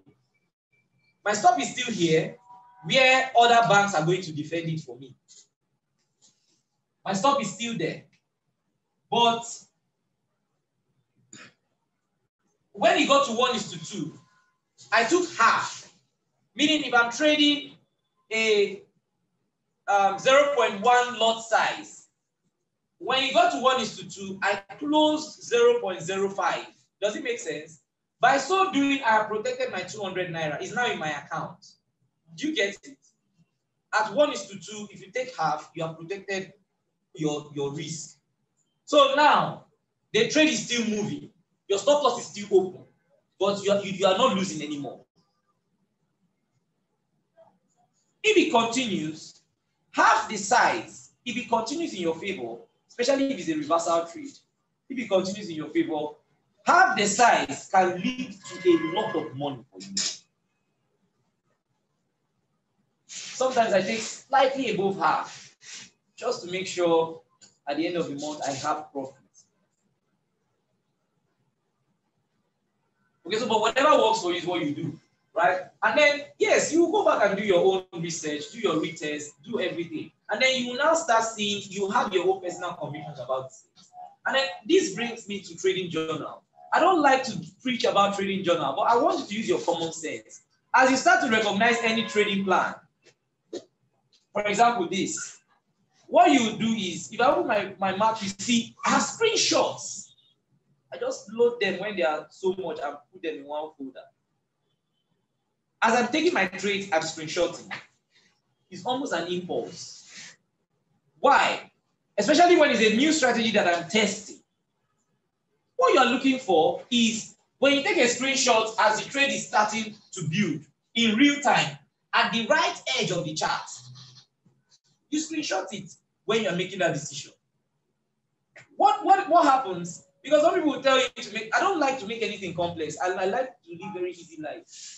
When, when some people tell you do Excel, Microsoft Sheet, write the price when you enter, right? That's why people don't do it. They make it too complex. Just take it. The, the, the aim is what we are after. The purpose, what's the reason for doing it? is to identify the trades that are good, is it not? For you to be able to go back and say, oh, this trade worked out. This is how it was looking when I started. Right? It was looking like this when I started. How did I come up with all of this to say, okay, this is it? Because I, I got it over and over and over and over to the point where I said, ah, I'm always observing this. That's what starts to happen. As you're learning all these strategies now, you start to see that, oh, this thing is happening over and over. Oh. anytime you see a trade that didn't work out well and you look at the screenshot when, when you started, you might now notice, ah, maybe because this thing didn't touch the line, right? You will notice something.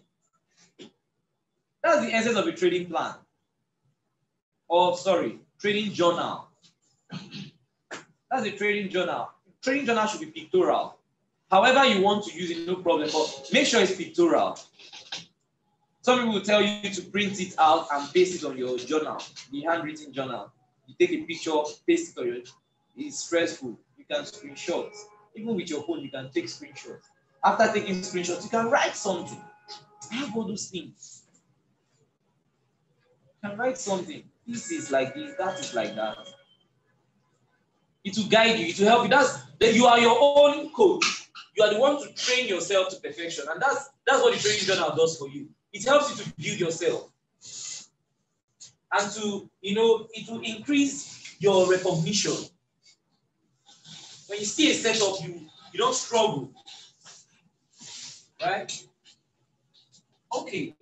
So in terms of trade management, guys, uh, just uh, take your profit at one is to two for now. As you start to improve, you can now modify the way I'm telling you. I am not telling you, remember I told you what I did or what I do. Again, that is me telling you exactly how it is. There's no point starting you know, breast milk and you know it's better we just go straight to what happens in the market. And from there, you start you start right.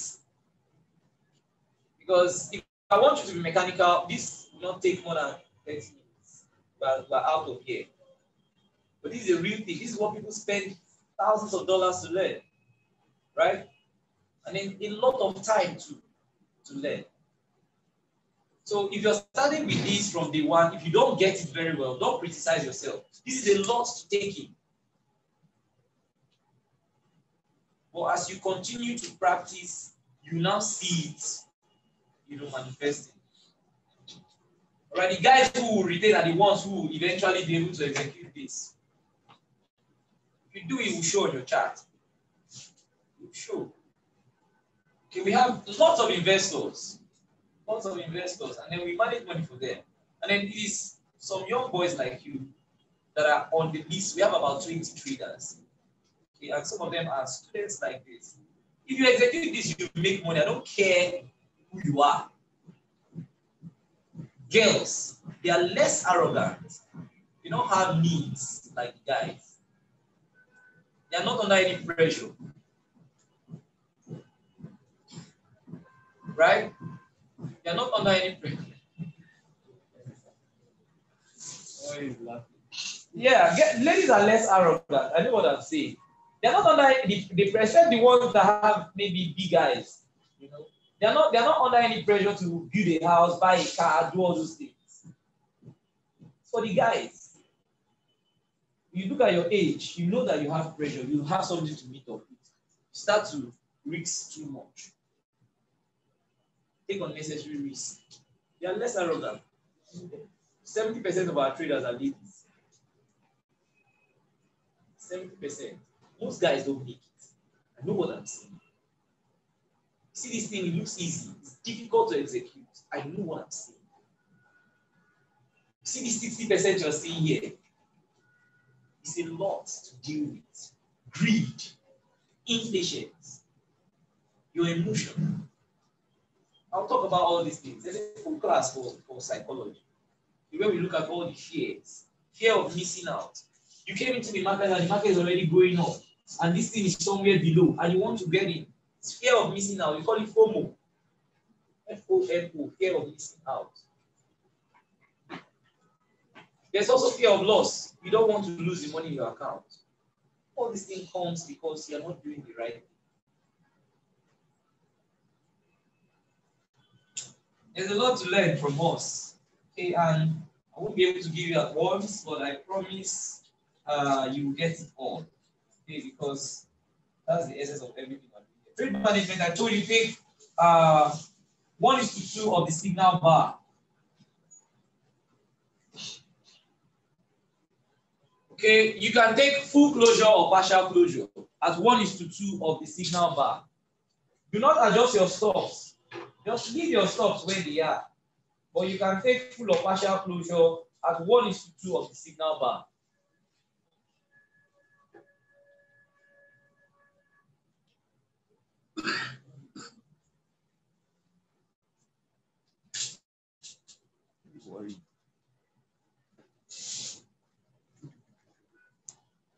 Right? Okay, so let's effect that calculator. Then gather all your questions if you have any, so that uh, maybe after I, I want to do it on a one-on-one basis. Calculator, I told you. Okay, now some we'll see these things on site, okay? Because the market is not open. So we're going to look back at the calculator and look for these indecision candles and look for signal bars. So we just alternate time frames, alternate charts, and then look for them. So you see what you would have done if you were trading in real time. Okay, so when the setup plays out, you see how you, you take it, right? Okay, so calculator, let's do calculator. Because the, the first thing you have to make sure is that if you are if you're having a 10,000 naira account, on each trade, you don't lose more than 200 naira, is it not? It's 2%. So it is the calculator that will tell you what lot size to use to prevent you from using or looking. Now, assume that uh, we are trading pro,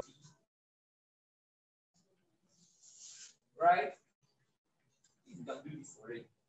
Okay, so let's look for one seat now and then take the prices directly.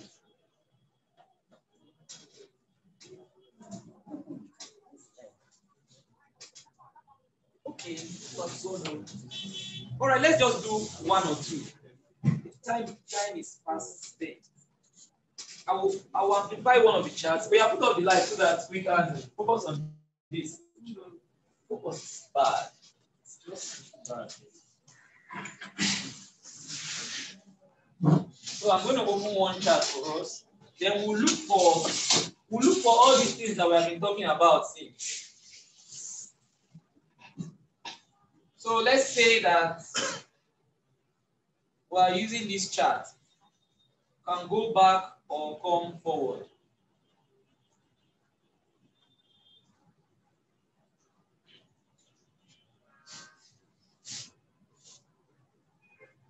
Okay, let's start from here. Now, this, is a, this is a simple example. If the market starts to move in, I can do it from this side, right? From here, and place this straight from here, right? Or I can place from here down. Okay? So you can you can use a trend line to connect. Right. The first the first rule there says that um, it shouldn't be less than 15 minutes a bit. So don't go below a 15 minutes time frame. Make sure you're trading currencies. You need at least two consecutive swing highs or swing lows, depending on where you are interested in buying or selling. So there are thousands of opportunities for you to trade, lots of them, right? So let's use the broad ones that we can see here. Okay. I'm connecting from this high. Should I use this one? Am I supposed to use this one? Why? No, Guys, that's the correct one. You know why? You're, you're seeing the price. That's why you're answering me that question that, that way. That's the correct one to use. Can't you see? This led to this low, is it not? You can't use this one here. You can't use all these ones. But you can use this one because it led to this low. It came back and then it pushed down. Right? Came back here and pushed down. So, but the only reason why you cannot use this particular word now eh, is because this low did not lead to a new low. Is that okay? You get what I'm saying now? It didn't lead to a new low. So we wait. Wait for more information, right? So we continue to wait. Okay. Now we have a new low, right? So we can now connect. Not, not, not this one anymore. What happened there is the market fell and entered a trading range. Is that okay? Market entered a trading range. So this, this first line is not useful for trading. This first line is not useful for trading. Didn't work. We'll use another line. So from where we have this swing to this high, okay, we connect like this. That's the high. Right? Then we wait. Okay, so we didn't have any opportunity here at all. So you go to the next chart or go to another time frame. Let's use 15. Okay, so here you see that we will have had several opportunities to, to take the trade here. Let's, let's, this is a swing low. Let's start from here and connect to this guy. So yeah, we can we can take a trade here, right? This is the first touch, swing low here, went up, came down, right? We're using this place. Is it not? And then the market comes back. So anytime the market comes back, what you just need to see is something like this. Once the market comes back here, and then there is an indecision candle followed by uh, a Marubozu, you can place the trade. This, this Marubozu is not looking good, right? You're not seeing it. Oh, oh, sorry, sorry, sorry. I'll zoom in a little.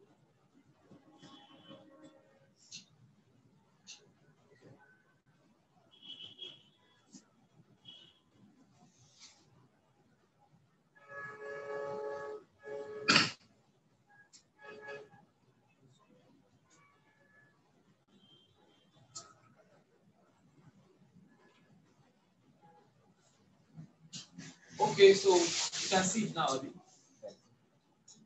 So see what we're saying on the chart. So market touches here once, goes up, comes down. Now, once the market comes down here, a lot of traders now find these points to be an important area. The third, the third time, in the next bullet there, I said anticipate the third touch on the trend line. A simple strategy. If I if I see this and I know that AUD is strong, I'm going to take this trade without any doubt. Now, do you see that there are some people that, that started to buy early when the market didn't get to the trend line and they lost their money? Do you see it? You see them there?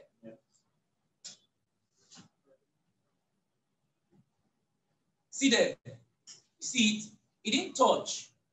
So these guys bought maybe above this, after this, maybe as indecision, and then you have this on uh, as the Marubozu or whatever, right?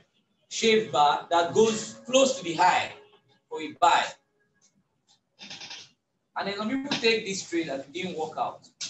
So the next one is let it touch. So this is me showing you, and then this is also you looking at the, the previous, the way the market has behaved in the past. Look at the way the market has behaved in the past. And you make a trading decision based on that. So if I know that this thing has happened like this before, next time if it didn't touch the chart or the line rather, I won't take it until it touches the line. Are there times when it will not touch the line and it will move? Yes.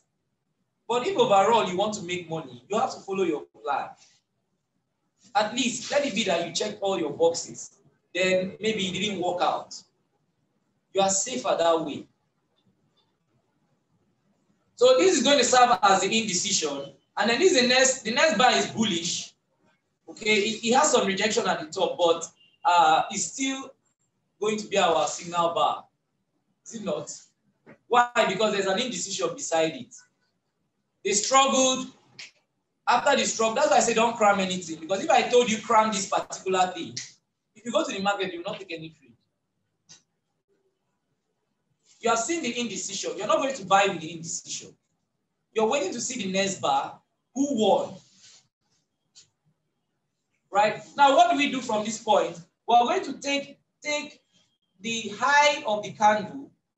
This is not the high of the candle, oh. this place. See the candle's high here. Can you see? That's the high. Is that okay? And then the base. Now, technically, this is the stop loss. Technically, this is the stop loss. Is it not? That's the stop loss, right? And usually, you might you might be tempted to put your stop loss here. Okay, but I will advise you to keep it at the base, the recent swing. Okay, just to stay where the big banks are staying. Is that okay? Yes, but if you're calculating your one is to two, it has to be based on the signal bar. Do you understand what I'm trying to say?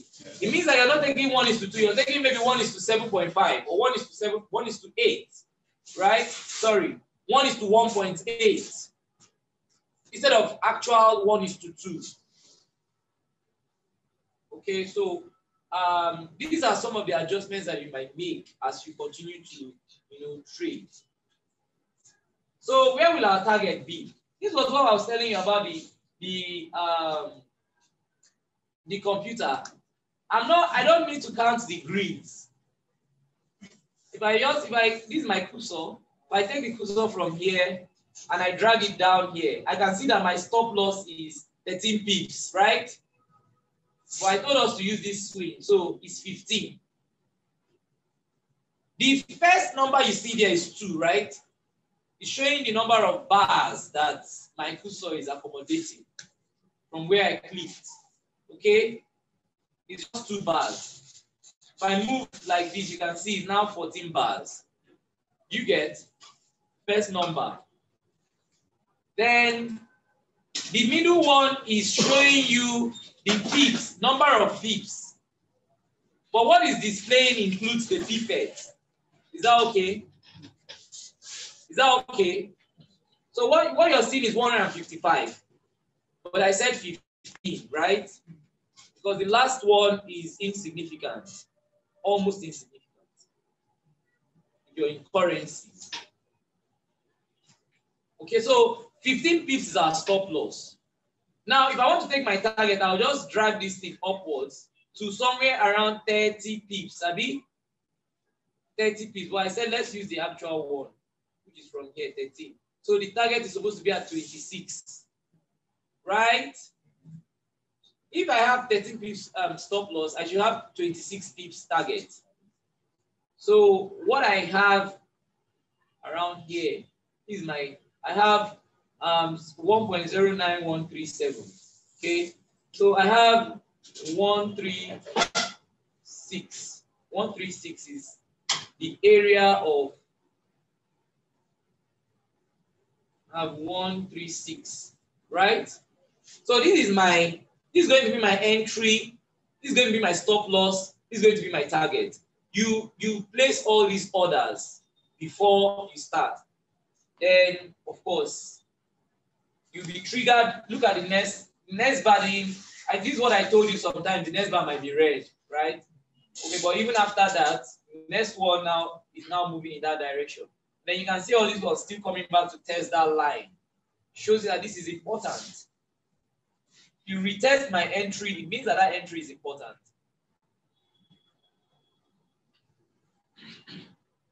Right?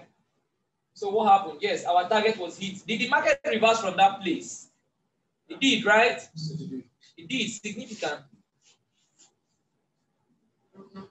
So you can start to see what we're saying, right? Yeah. Yeah. That's the way computers are programmed. They are programmed to take profit at twice the risk of the signal bar. Well, as we move on, I'm going to teach you there's a difference between initial risk and actual risk. The computer take targets, they take target based on actual risks and then initial risks. Can't teach you everything at once. We're already behind. I was supposed to leave here by one. It's almost two or more than two. Okay. So I can't teach you everything at once, but you can work with what I'm giving you already and make money. All right. So this is when I this is what I said. Okay, you can take like half of the money around here. Okay, so when it gets there, instead of setting the target, I'm setting an alarm. The alarm tells me, okay, the market has gotten to your target. You go out, or you close part of it, and then you allow the rest to continue to move, right? You allow the rest to continue to move. Okay, if you have a, a, a good trend, you make more money. You don't have a good trend, uh, you are stopped. Okay. So let us use these prices to, to test the calculator, and then I think we can call it a day. You can go back home and do a back test. Do a back test like this. Watch it yourself, right? Observe it, you see that that's what happens. Observe it, you see that that's what happens. All right, guys. So the entry price, how many pips is the stop loss? 15, right? When you tell your calculator, I told you there are four informations that you supply the calculator. You tell the calculator it's 13, but we said that the swing low there is 15 pips. Is it not? The, swing low is, you can use 13 if you want, there's nothing wrong with that. But I try to explain something to you. Hmm. They are saying I should be giving you everything at once, and then I feel like you're already saturated with what you have. This is this is the this is the actual. Here's our entry here.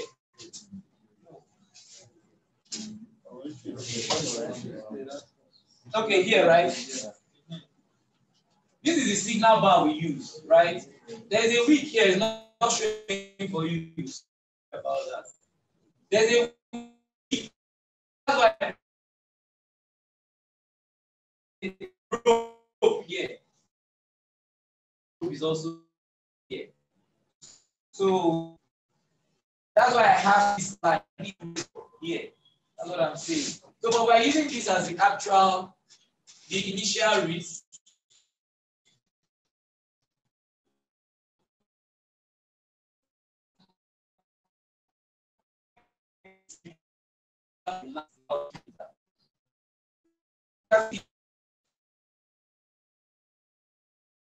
It depends on your trading strategy, right? What I do is I'm trading this, I I play this way, right? I let's I'm using my just 15 point something, right? 15 point something. What's that computer? That's partial. Break it down. So for your computer, you can take your immediately because in fact it starts. So what I would do, then I'll close here so that that five dollar run.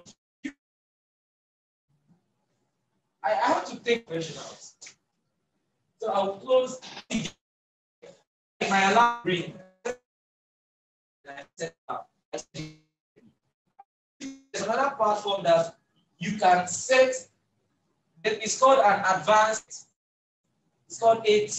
You can set set an AT here that triggers the close of just 10. Five will still be open. Now, what is that when it gets in, when I'm pulling down, I'm not pulling down 15 anymore, I'm pulling down with 5. So the amount is smaller. Is that right?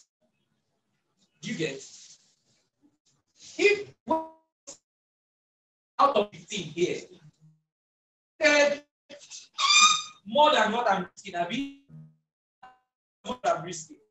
My stock is still here. Back.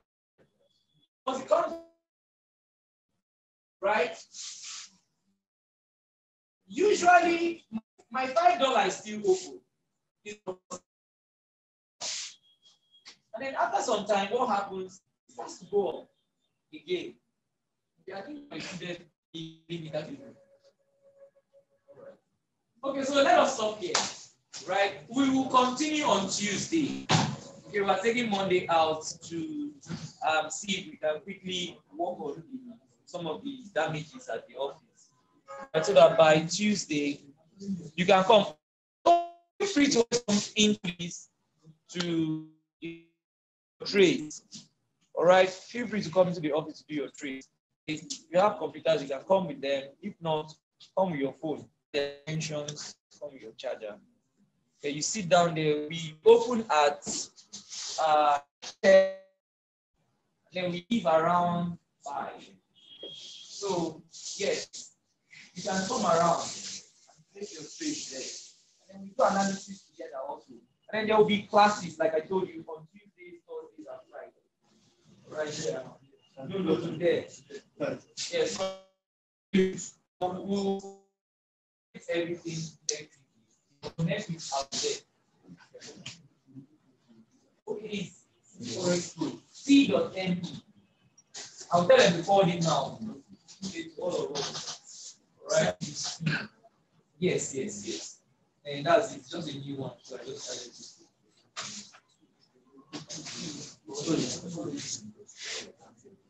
You